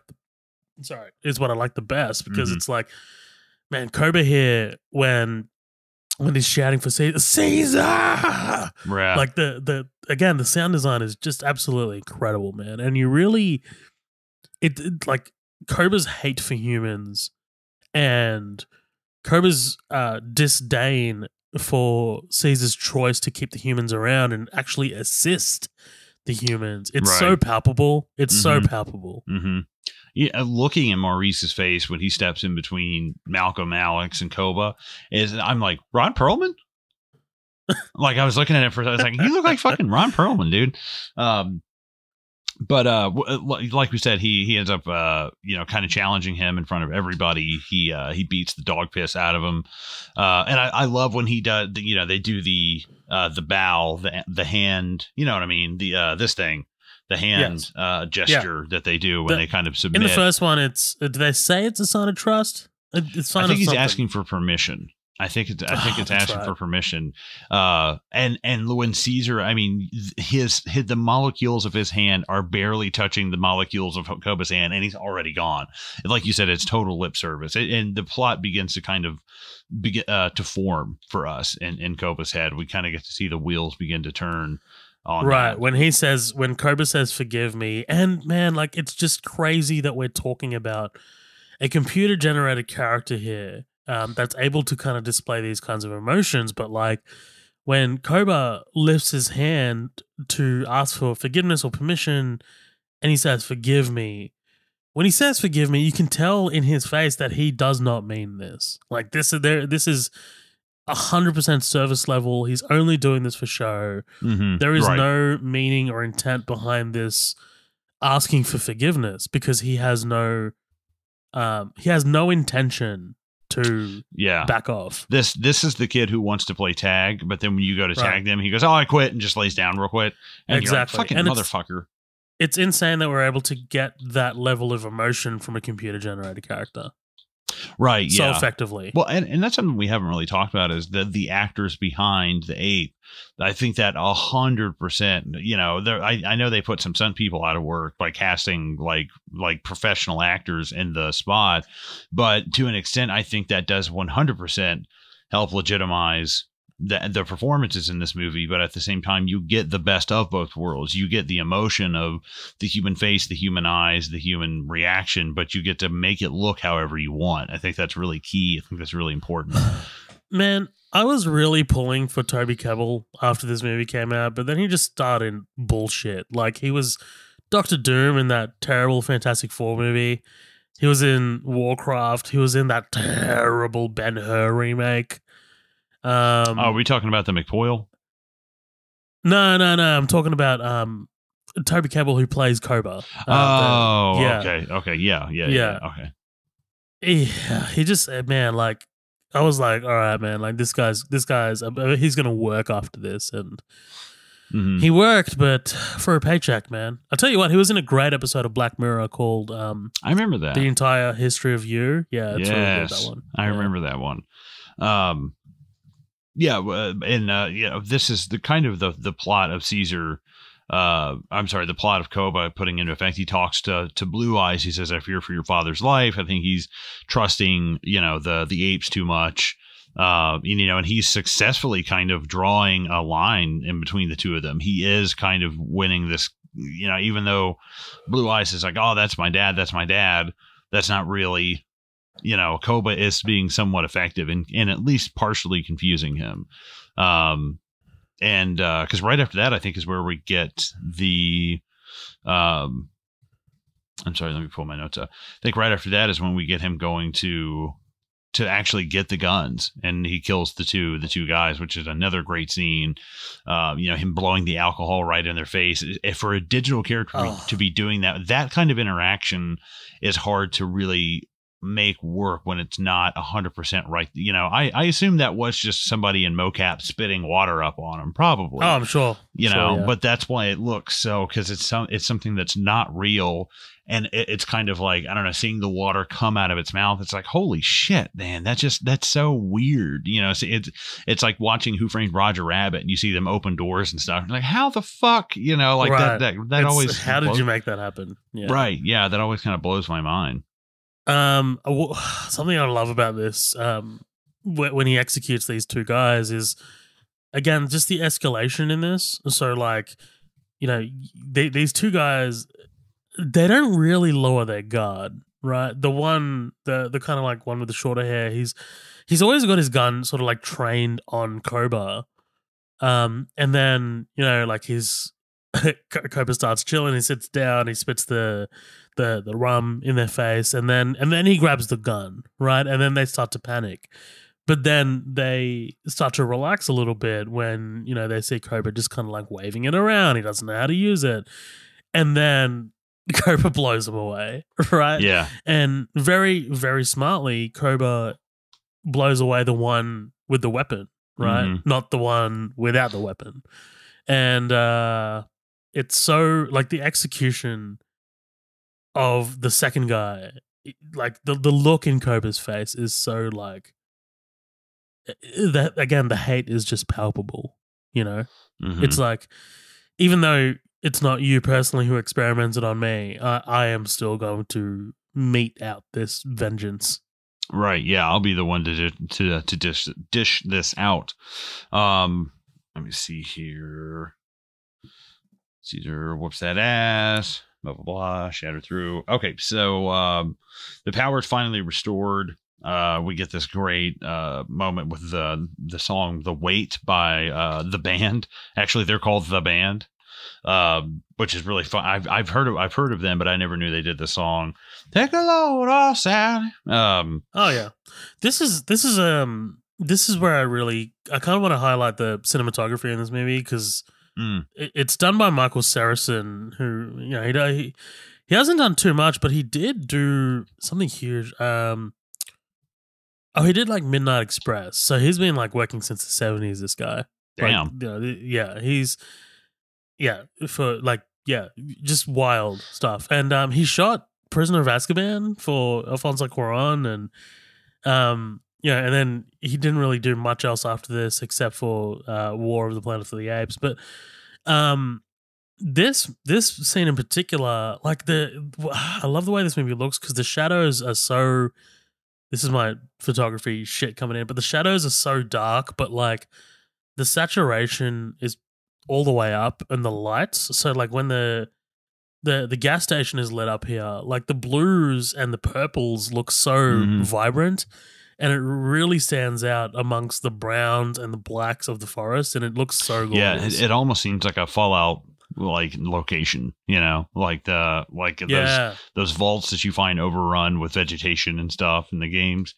Um yeah, I, I think not only that, but that that shot, the one shot of like the gas station and like there's like trees in the foreground and it's like there's there's this thing if you took this shot out of context it's like there's this thing this from mm-hmm. civilization mm-hmm. that's in nature that should not that does not right. belong and it's just so like jarring i, I love mm-hmm. that shit man i love it um the small victory is shattered though when uh, Carver is killed, unbeknownst to the group, and Caesar is shot. Uh, we do find that Cornelia is back on her feet. That uh, that little Cornelius is uh, is going to be fine. Um, you know, and uh, Koba assumes command and leads the attack on the colony. You know, we can kind of take this bite as a whole, uh, leading up to the fight on on the colony because again, it's just kind of like ah, man, it sucks. It's like you know, uh, Cornelia is fine. The baby is fine. Nobody died. The humans are going back. They didn't have to take up more time. The power's back on. Everybody's everybody's happy. And it's like it's you know so it is kind of koba that ends up being the one to light that powder keg that kind of sends everything up. Um you know but it, it immediately uh you know be, because their act of kindness was not this big explosive bombastic assassination thing like koba's thing gets so much more attention because it's this loud violent act. But then just going up there very quietly giving cornelia some medicine it's just kind of like all right and she's good you know, like that's basically all it is. It's not like she's then paraded on the shoulders of everybody through the monkey town. You know, it, it doesn't really work that way. Um, but Caesar is shot. He's he's assumed dead. Uh, Koba uh, assumes command. They they he lights the fucking place on fire. I'm like, God damn, dude. Like, uh, I guess that's again, I don't understand. I, I don't really understand that. Uh, other than is it an is it an attempt to be like, well, now we have to go in there and take their home. Like now we have to go in here. Right, like, we're forced out now this is my favorite moment in the movie. Um, is this assassination slash burning down of the of the village? Um, it's such a uh, Mufasa slash Scar moment of like you know uh, just mm-hmm.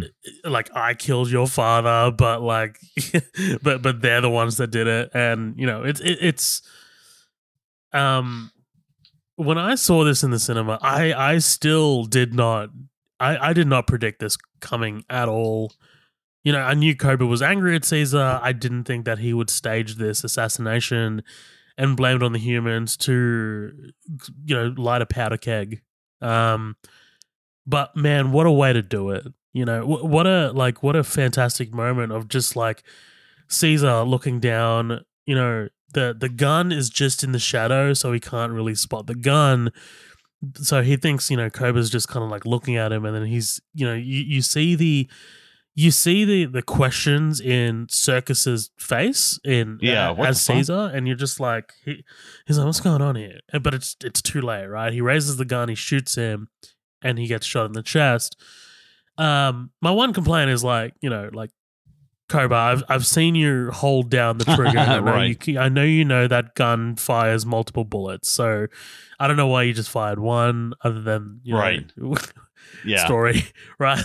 But um, man, like again, the, the cinematography here as the village burns and Koba has blue eyes and he's, you know, like resting his forehead against yeah. his forehead as they're all kind of like scattering and you know, Koba's like pointing at the gun to blame it on the gun on, on the humans. He's like, human gun. And you know, he's like, humans burn our villages. And then you know, there's no score here until you get Maurice's Maurice turning to the humans and saying it's like Go. his only word and in the whole in the whole yeah, movie. I'm pretty sure. Yeah, and it's so wonderfully staged. You know, this is this is this is blockbuster filmmaking at its. Oh, that's what he said. Like, it's run. Is, yeah, it's like dun bum bum. Run, like, yeah, run, run, run, run. run. Yes, that's right. Yeah. Um, and yeah, this is blockbuster filmmaking at yeah. its finest. Mm. Like, I mean, this is this is this is why Matt Reeves is in charge of the Batman universe for DC. Yeah, man. and I'll like, be honest, this is why he has the case. It's it's hard for me to think of a better more recent trilogy of movies.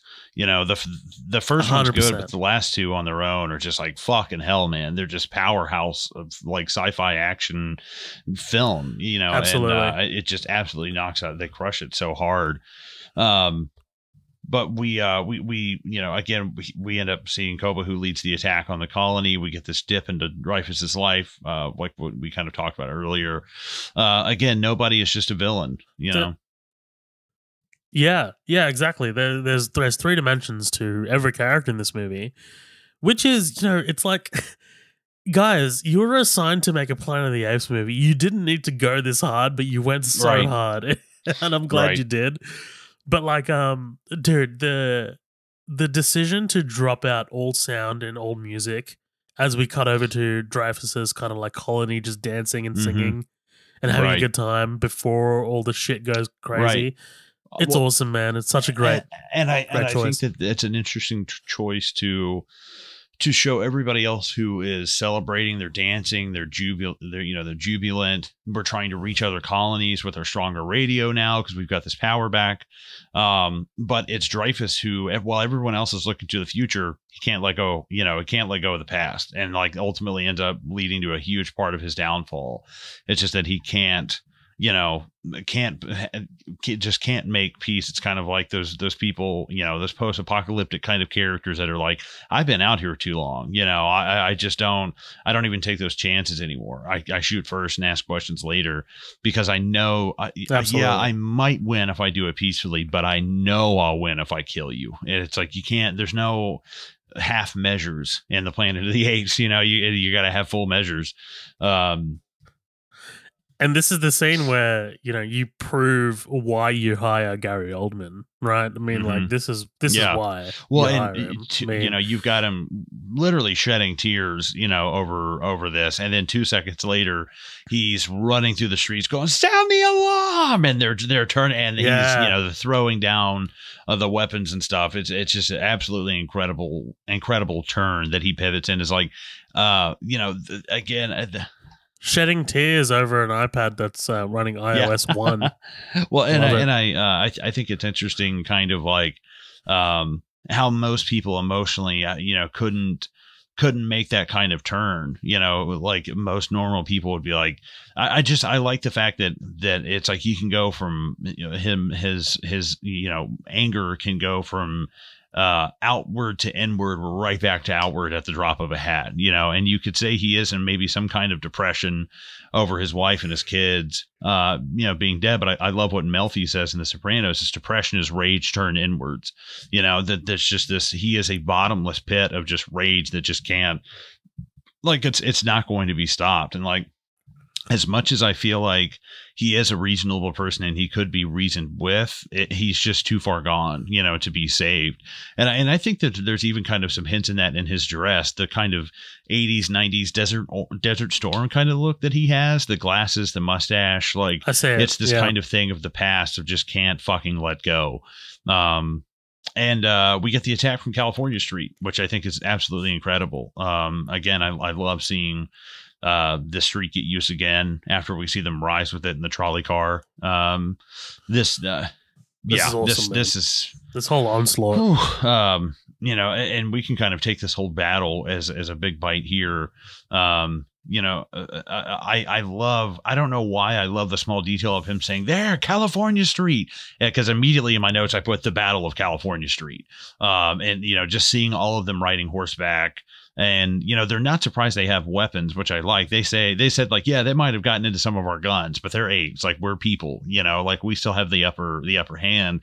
And i'm like man you know they're twice your size they're probably four times faster than you.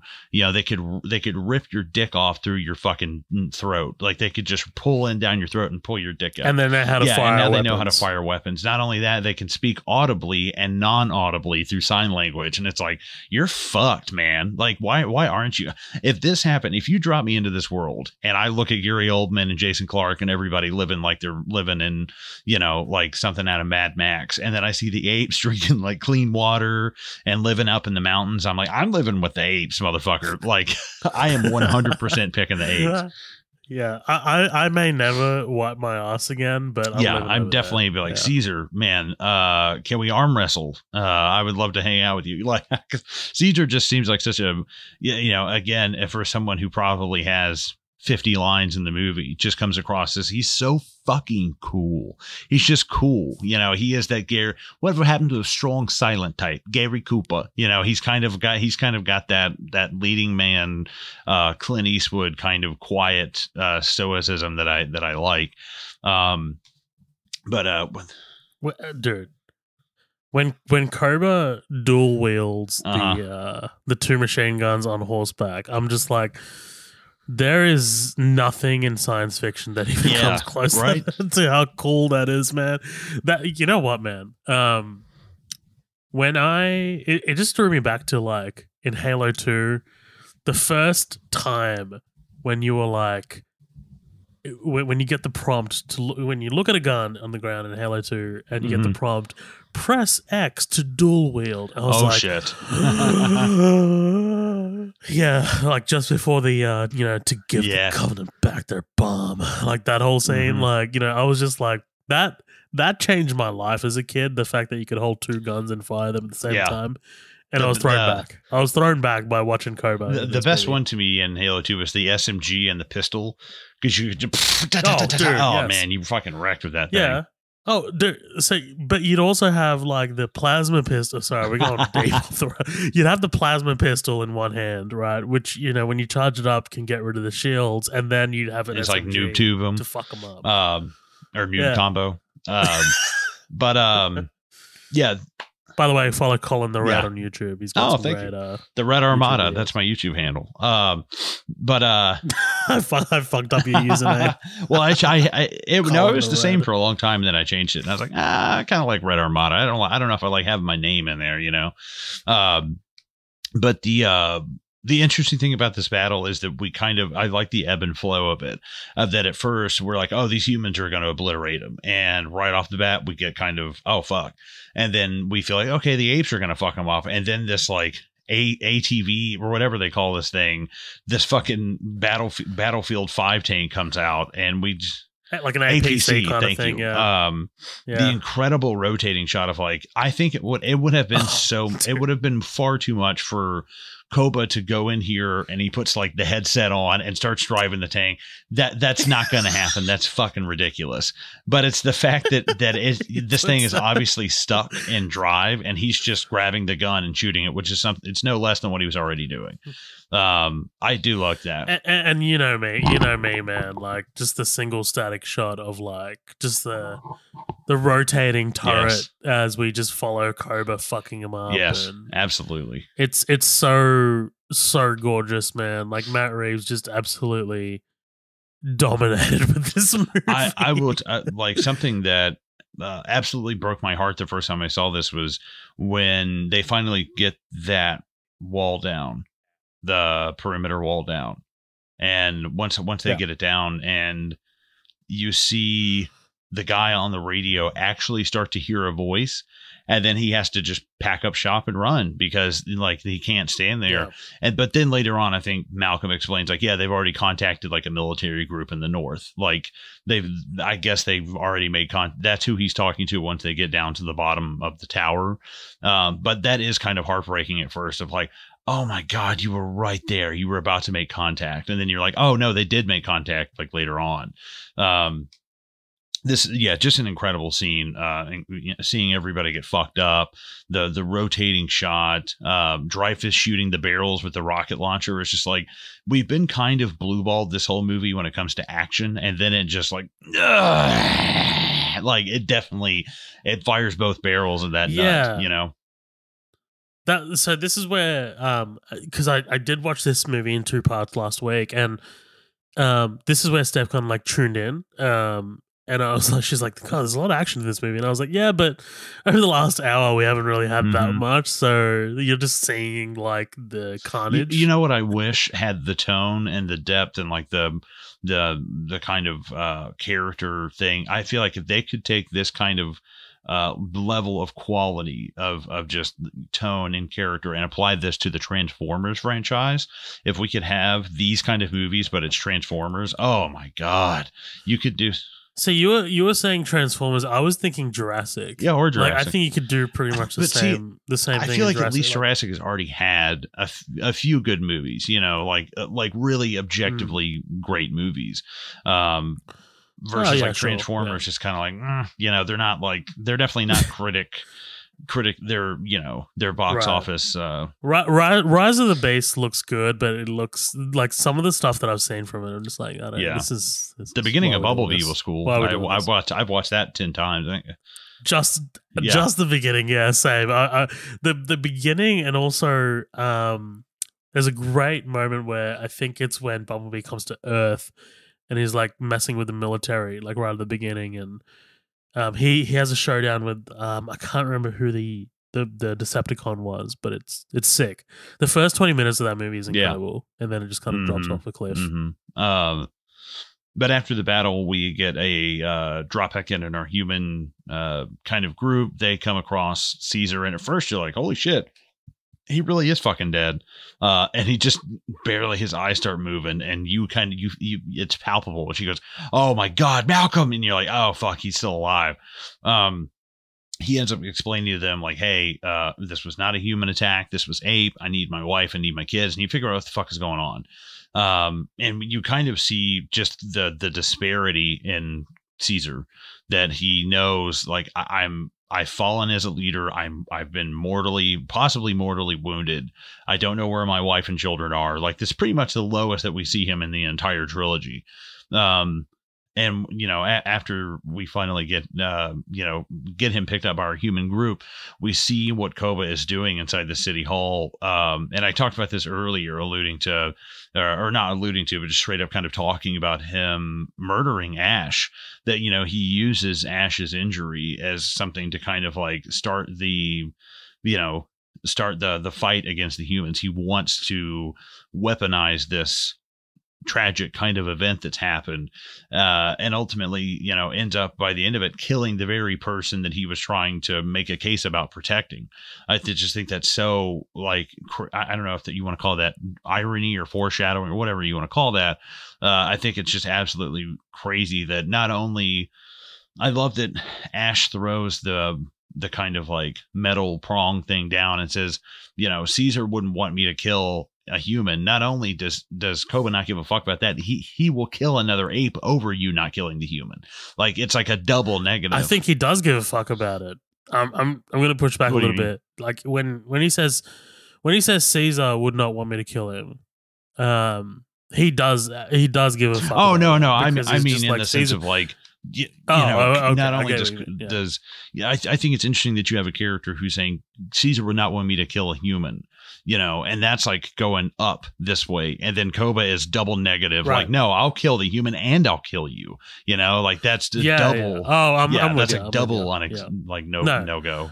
Because I think, I think if he if he put it another way without mentioning Caesar, I don't think he would have. Mm-hmm he might have reacted in the same way, but maybe not as mm-hmm. harshly. Mm-hmm. But like uh, the the fact that he mentioned his the the former leader saying, you know, like like he's also talking about his fealty, right? Like where his loyalty mm-hmm. is, and it's not to Koba, and that's what really kind of gets gets up his ass, yes. right? Like that's what well, really kind of like like like what you said. Bit. It's Lion King when the bird is being forced to sing, uh, "I've got a lovely bunch of Mufasa would never have me do this." You know, it's it's it's that the bird. Kind of, Rowan Atkinson. I can't remember the fucking bird's name, but I know Zazu, it's Rowan Atkinson. motherfucker. Zazu. Where's that's your, what it is. Jesus Christ. I don't fucking. I was actually about to say Iago, but it's like Iago's like, shit. I, I have no. I haven't seen a movie in years. I, I've always known it's Rowan Atkinson, so I love Bean.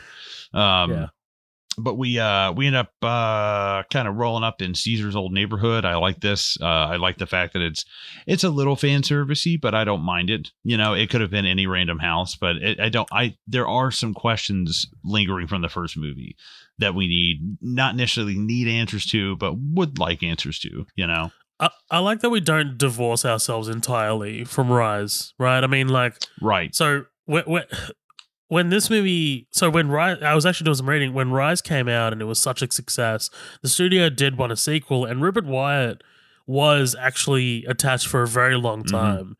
and it wasn't until that he was like oh i've, I've actually got some scheduling issues that's when matt reeves kind of came in and he's just like oh. okay let's you know, thank God. Um, thank God, because Rupert Wyatt went on to make um, Snow White and the Huntsman. So fuck that movie. And uh, it's like I mean, I'm sure Rise was good. I'm sure it would have been a, another movie as that quality or better, but it would not have been this quality of of, of a movie. Oh no, um, no. I don't know. Maybe after the first success, he'd have a little bit more creative control of his own, you know, and yeah. be able to do things his way. And because I think we even talked about that a little bit on the bonus episode, was that Rise definitely feels a little bit more summer blockbustery, and these definitely feel like they're part of that set of the first three movies. The first one's kind of the this, outlier. This feels like a prestige Oscar kind of movie to me. Um, whenever I think about it, um, just like mm-hmm. the long shots and the cinematography and the acting, it feels more like a a movie that is kind of going for an Academy Award, even though it's probably not. Um, sorry, but I, I, I actually misspoke. He So Rupert Wyatt didn't leave because of scheduling concerns. Um, he wasn't like double booked or anything. He just didn't think that he could hit the date that the studio had set. Um, Mm, okay. and he was like, "Yeah, look, I'm out." Oh, good on him Um, for calling it. You know, not yeah, not starting it and not being able to fucking finish it. Like, oh my god, right. that's the worst. Um, By the way, um, we've covered quite a few Matt Reeves movies. I just realized uh, we did Cloverfield on the feed on the bonus feed, and we did Let, Me, In. Yeah. Um, we've done this now, and he's only the only other two movies he's directed is War of the Planet of the Apes and um, the Batman. The Batman.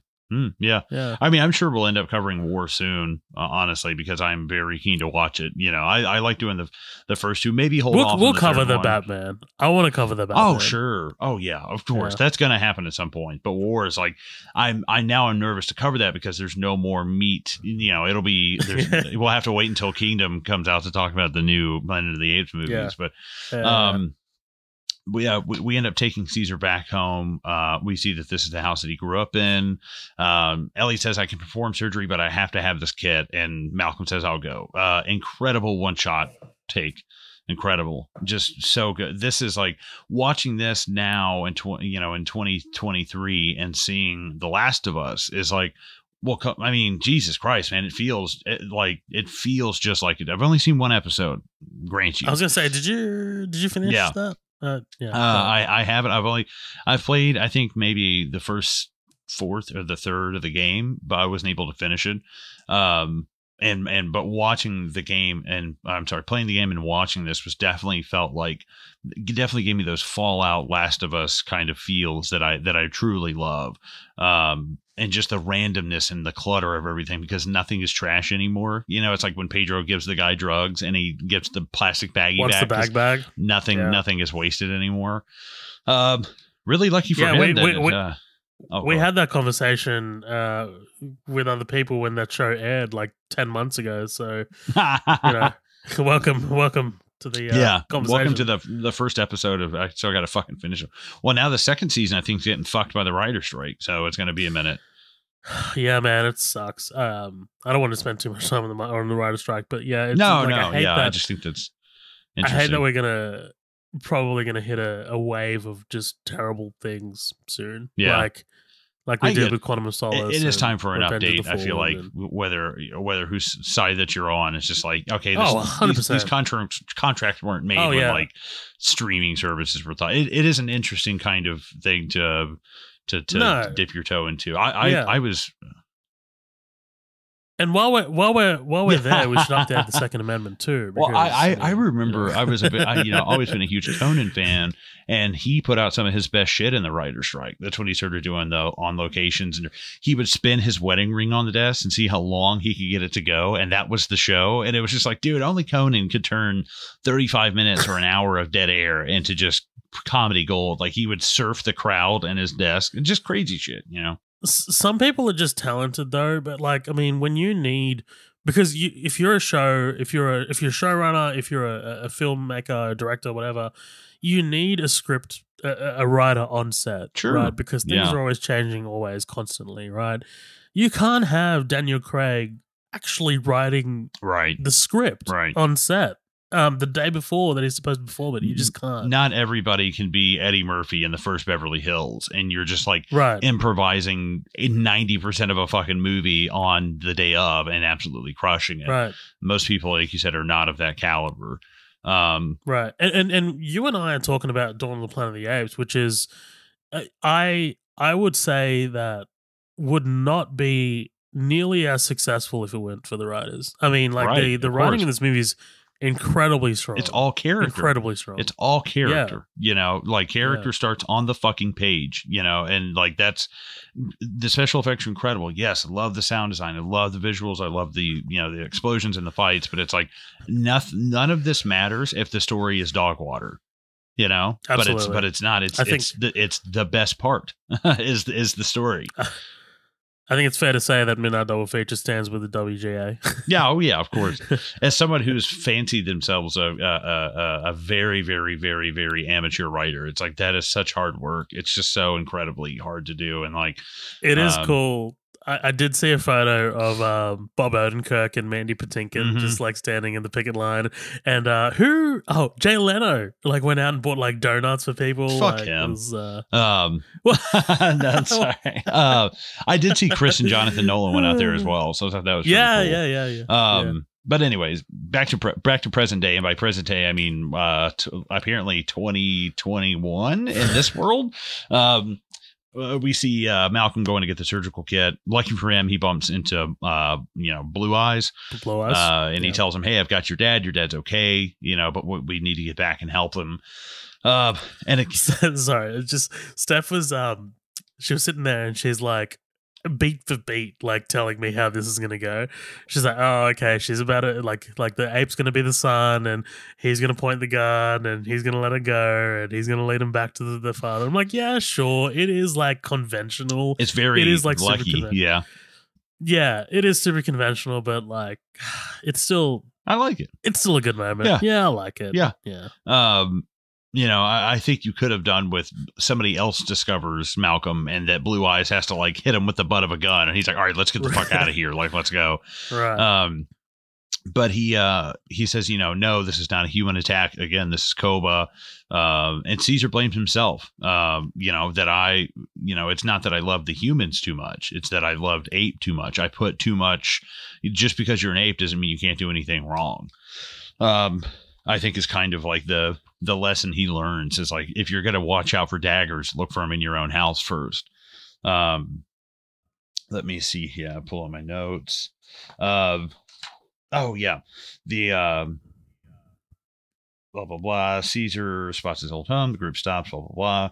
Right so blue eyes he he has surgery. He blames himself for koba's betrayal. Uh caesar admits that he's too weak to be seen and blue eyes asks to help. Um again great line. Ape seek strongest branch you know and he's talking about how bad it is with the leadership of koba that you know that fear is what keeps them in line that maurice and rocket and the ones you know uh loyal to caesar have been basically imprisoned. Uh and if and, and i like this at the the the the plan the wheels start turning for for caesar that that basically he's i'm not ready to see him yet but i can go ahead and have you start the the fires of of this process uh and kind of stir the stir the stir the hunt stir the honeypot up as it is.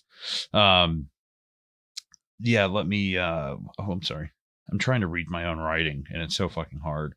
Um the uh and he ends up freeing the prisoners blue eyes does he's able to kind of get in there and help all them out which is another great scene i love the the way that he draws the the glass diamond to kind of as the symbol uh i think i just think that's so fucking cool um Him in the review mirror, like just Yes. like Yes. Uh, and, and I, I like it. It's just a hey, we need a distraction, and they they they grab their guards and crush all of them. When the it's like Ah. Jesus, man. Uh, just this movie can be surprisingly brutal. You know, you just forget that it's like. I don't know. It's like, yeah, man, they're animals. It's like, what do you think? You know, what do you think we are? Like, it's kind of what do you think's going on here? Um, launch the nukes. Yeah. I Yeah. uh yeah, I like that Blue Eyes is able to to, to get them all out. Um and we we get this kind of check in on um I keep wanting to say Koba, Caesar's Caesar's past life with the camera. Um This is the only scene I don't think that needs to be in here. Um, mm, yeah. I I get 50-50. it. I think it's kind of beating a dead horse at this point. Like, um, I, I the uh, the main reason that I like it is that um at first it's like okay the camera still has it's been 10 years and the camera still has a charge and works but it's it's literally left plugged up to something so i'm like okay maybe it charged right until the power went out whatever and it only lasts for like 10 seconds but uh, but the No. reason that i like the scene is shut up the reason that i like the scene there's no way the S. There's no way the SD card lasted that long. This- it's like melted. Um, the reason that I like the scene is that we, I, I like the fact that it brings the attention that that Caesar is now looking at Malcolm the way he looked at Will. I think that's important. You know, we need to like because there's not a whole lot of reason for either of them to trust each other at this point. You know, now the the both betrayal on both sides. It's just there's been this insane back and forth, and it seems like the only people who really want peace are Caesar and Malcolm, you know, and his group.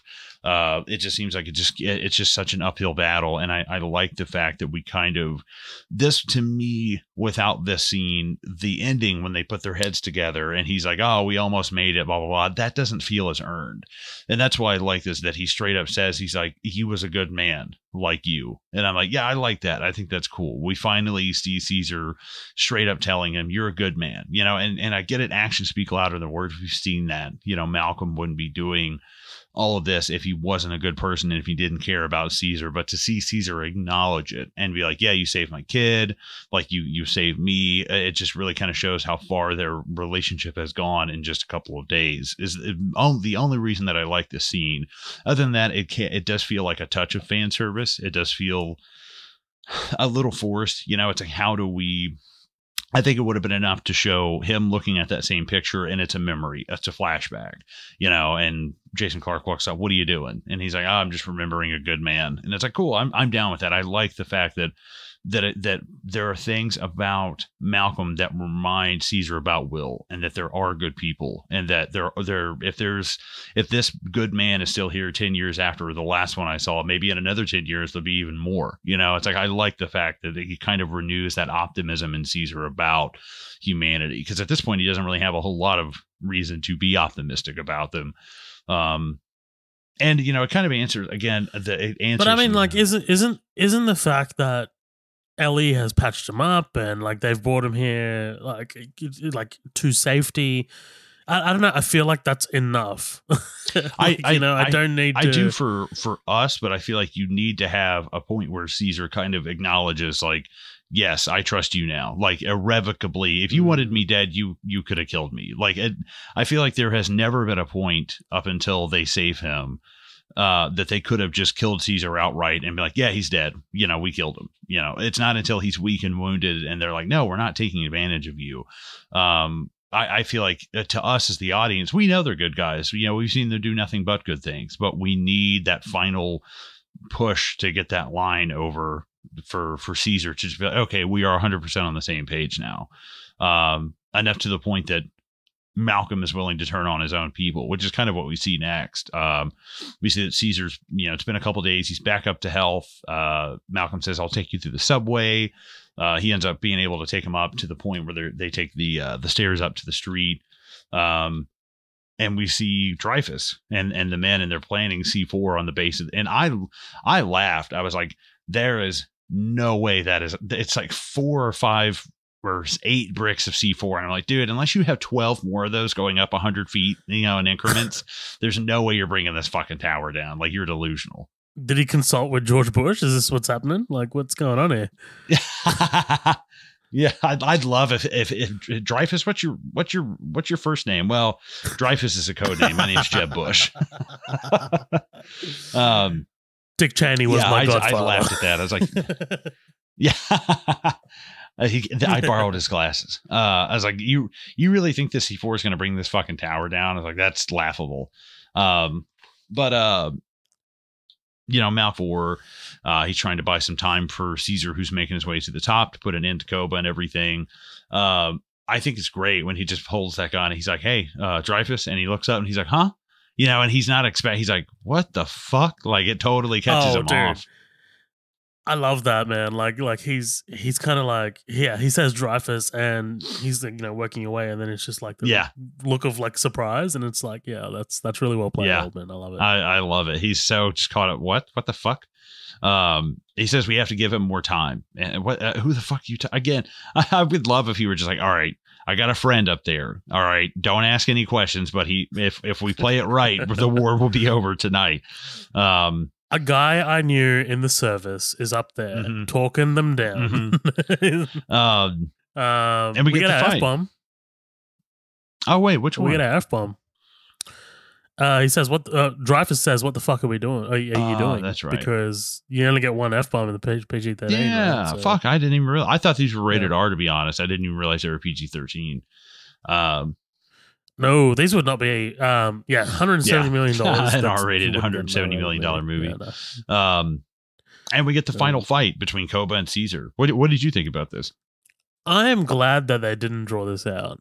Um, and we were we were talking about this because like this goes on for a while anyway. But I'm glad that you know it's relatively short. Like they could have drawn it out longer, and I'm glad they didn't. Um, this is it's good, man. Like you can see, I can't believe I'm, I'm, about to talk about two apes sort of like fighting styles, but this is what I'm talking about Mhm. right now. Um, you can see um, Koba's ferocity and uh, brutality, and just how it's kind of like a flurry of attacks. Whereas like Caesar is a little bit more composed and chooses where to hit him. Yeah, Uh, like definitely. the, like the kidney shots and whatever, and it's just like, yeah, like dude, like this guy, he can he can rock with Creed, man, in the ring, Yeah. like you know, like Yeah. he can he can take him down. Well, it's it's uh Caesar's playing chess and Koba's playing checkers kind of thing. You know? Right. Their fighting style mirrors their leadership styles, right? Mhm. I mean, like um Koba's is ferocious and aggressive and without um without uh structure, right? Like there's no there, there's no com- composition to it. It's just a, Yeah. a flurry of aggression. Right. Whereas like Caesar's is a bit more reserved and thoughtful, um, which I really appreciate. But um, yeah, I, I- I like the way this this looks. Um, again, the effects are incredible. Uh, like this is kind of only really here because we need a big sort of like showdown. Um, but I love the way it ends. Right, like I love the way it kind of like goes down. Um, with Koba kind of like on that beam, and he's like, you know, he says, "Ape will not kill ape," and oh, such a great line from Caesar. You know, you are not ape, and you know that's the reason why I let him go. And it's, I was just like thinking, I was like, what kind of justification are they going to give here? Like in terms of like, you know, I don't Yeah. have to kill you, but I don't have to save you. Yeah, right.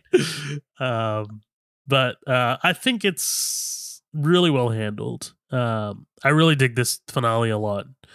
Um, yeah, this is awesome. Yeah, I, I I dig this. I I, I like it. Um, I, again, watching them fight. One of my favorite moments is at the beginning when they fall off that crane, and as they're fall as they're falling, Caesar uses his feet to grab Koba's feet and rips him down with him.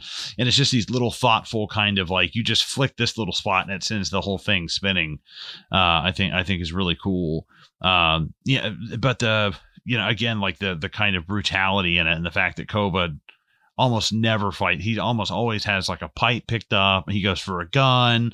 You know, he's constantly fighting dirty and shooting his own apes in the process of, of doing it, which is Oh, super yeah. important. That Caesar's brutally trying to avoid any more ape death, and that Koba has no problem being like, "Oh, you threw a spear at me," you know, it just drops him on the spot. Um, but ultimately, like you said, Koba, Koba, not ape.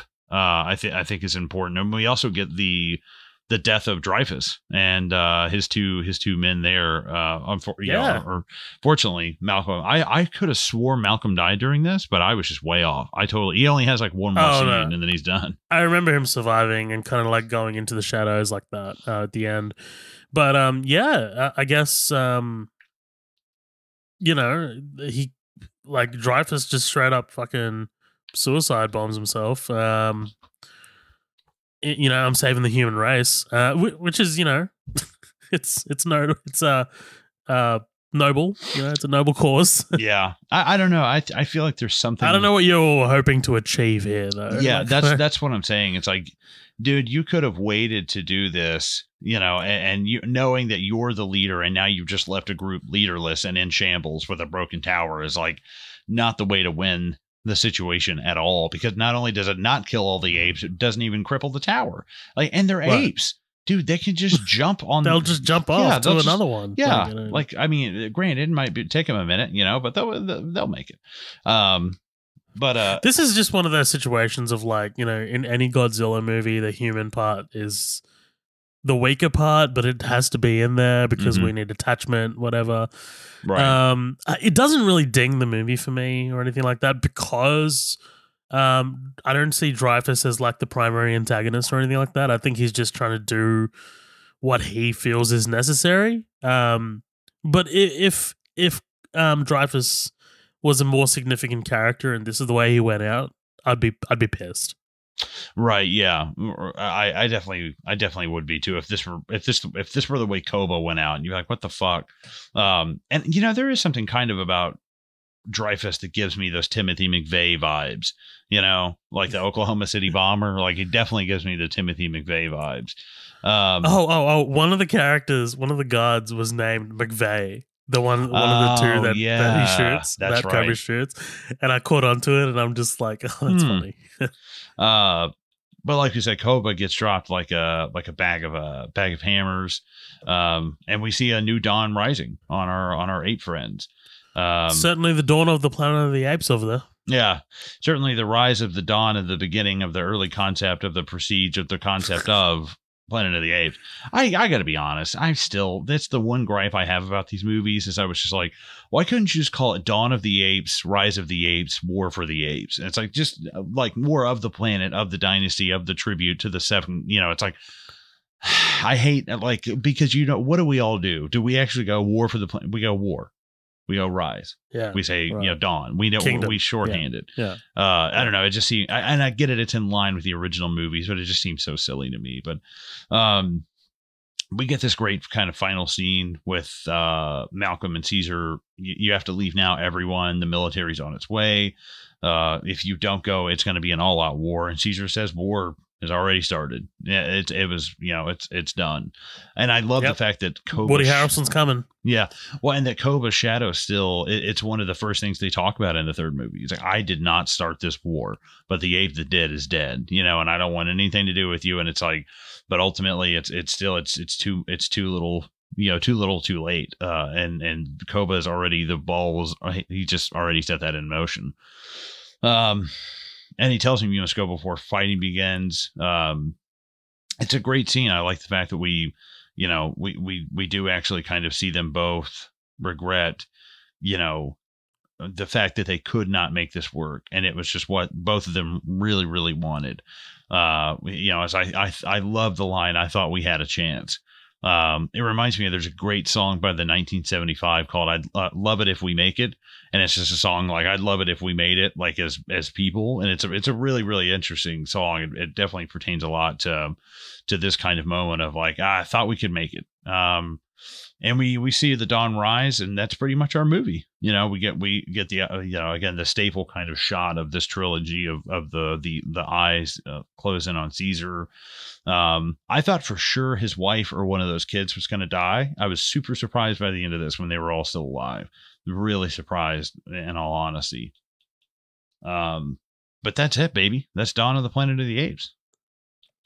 Let's Dawn of the Planet of the Apes, man. What a what a film, honestly. Um yeah, I I I absolutely adore this movie. Um I think I think I think Reeves did such a fantastic job bringing this movie into the popular culture. Um and I I don't think we talk about this movie and its sequel enough. Um you know, like in terms of just like a la- being a landmark film in science fiction, in the conversation of tr- perfect trilogies, in the conversation of um, special effects. You know, people always you know go to Avatar or whatever, but like I think I am more impressed by this than Avatar sometimes. Um, and yeah, you know, just performance capture, motion capture, um, but not even that. It's an incredibly strong script. Um, like I think Koba is just such a three dimensional villain. Um, I think the way he goes about executing his plan um, is is really really solid and interesting. And there is not a missed moment in this movie. Um, this is my final thoughts, by the way. Uh, Yeah, Mhm. there's not a there's not a missed moment in this movie. I think it's just absolutely perfect. This, this is the Dark Knight, to use a famous, uh, I guess, um, hyperbole. This is the Dark Knight of this trilogy. Um, yeah, actually, you know what? That kind of fits. This is the Dark Knight of this trilogy. Dark Knight Rises is war. I still like it, but I don't love it. And Begins is, you know, Rise, which is which we both recognize is really solid. So I, I would I would swap the, the the two, but yeah, I'd say this is definitely the Dark Knight. I feel like Batman Begins is definitely War, and Dark Knight Rises is Rise. Uh, you know, and not to say that they're similar in terms of quality, but Ri- Rise of the Planet of the Apes and the Dark Knight Rises feel like the outliers, like they feel like the ones that are different from the other two. Um, and Batman Begins more so just in terms of the way it looks, but the way the third one feels is very like, yeah, this doesn't feel like the Dark Knight did. But um, yeah, I, I love this movie. I really enjoyed talking about this. Uh, I think that there's plenty of meat on the bone left for this franchise. You know, I'm glad they didn't do, you know, Transformers or Fast and Furious and just run this thing into the ground and diminishing returns and lowest common denominators. I just I like the fact that they didn't do that, um, and that there are more stories of this kind of world to be told. There's statues of Caesar in the '60s films, so like there are plenty of stories to be told. Um, you know, not just with Caesar, but with Cornelius, with with their kind of, uh, you know, it doesn't always have to be. Um, you know Anakin, Luke, and and Kylo. You know, you kind of go sideways with it and see the other kind of characters that we had in this world, and what are some of the things that really put the nail in humanity's coffin at the very end. I think there's plenty of meat on this bone, and I think this is a, a fantastic movie that I've quite frankly sucked off enough. So I think we are going to jump out of here. Uh, Big suck fest. yeah. One. Oh yeah. hundred percent. I I've had a lot of fun doing it. Uh, do you got anything else you want to say before we get out of here? No, that's pretty much it, man. We're off to cover uh, Tucker and Dale versus Evil um, on the bonus feed. So come join us over there, man. Patreon.com forward slash midnight double feature. A hundred percent. Um, and oh, uh, one last thing. We've been through hell together. Jesus Christ. Um, guys, I hope you enjoyed this episode. I know we had a lot of fun talking about it. Uh, Again, if you want to check out our socials, they're going to be there in the show notes. You can find pretty much everything at midnightdoublefeature.com or patreon.com slash midnightdoublefeature. Uh, that would really help us out a lot. And especially stop by and rate and review the show. That helps us out. It's 100% free. Takes you five seconds to give us five stars, and it helps the show out tremendously. Uh, so, guys, we really hope you enjoyed this episode. I know we had a lot of fun recording it, and we will catch you on the next one. Bye.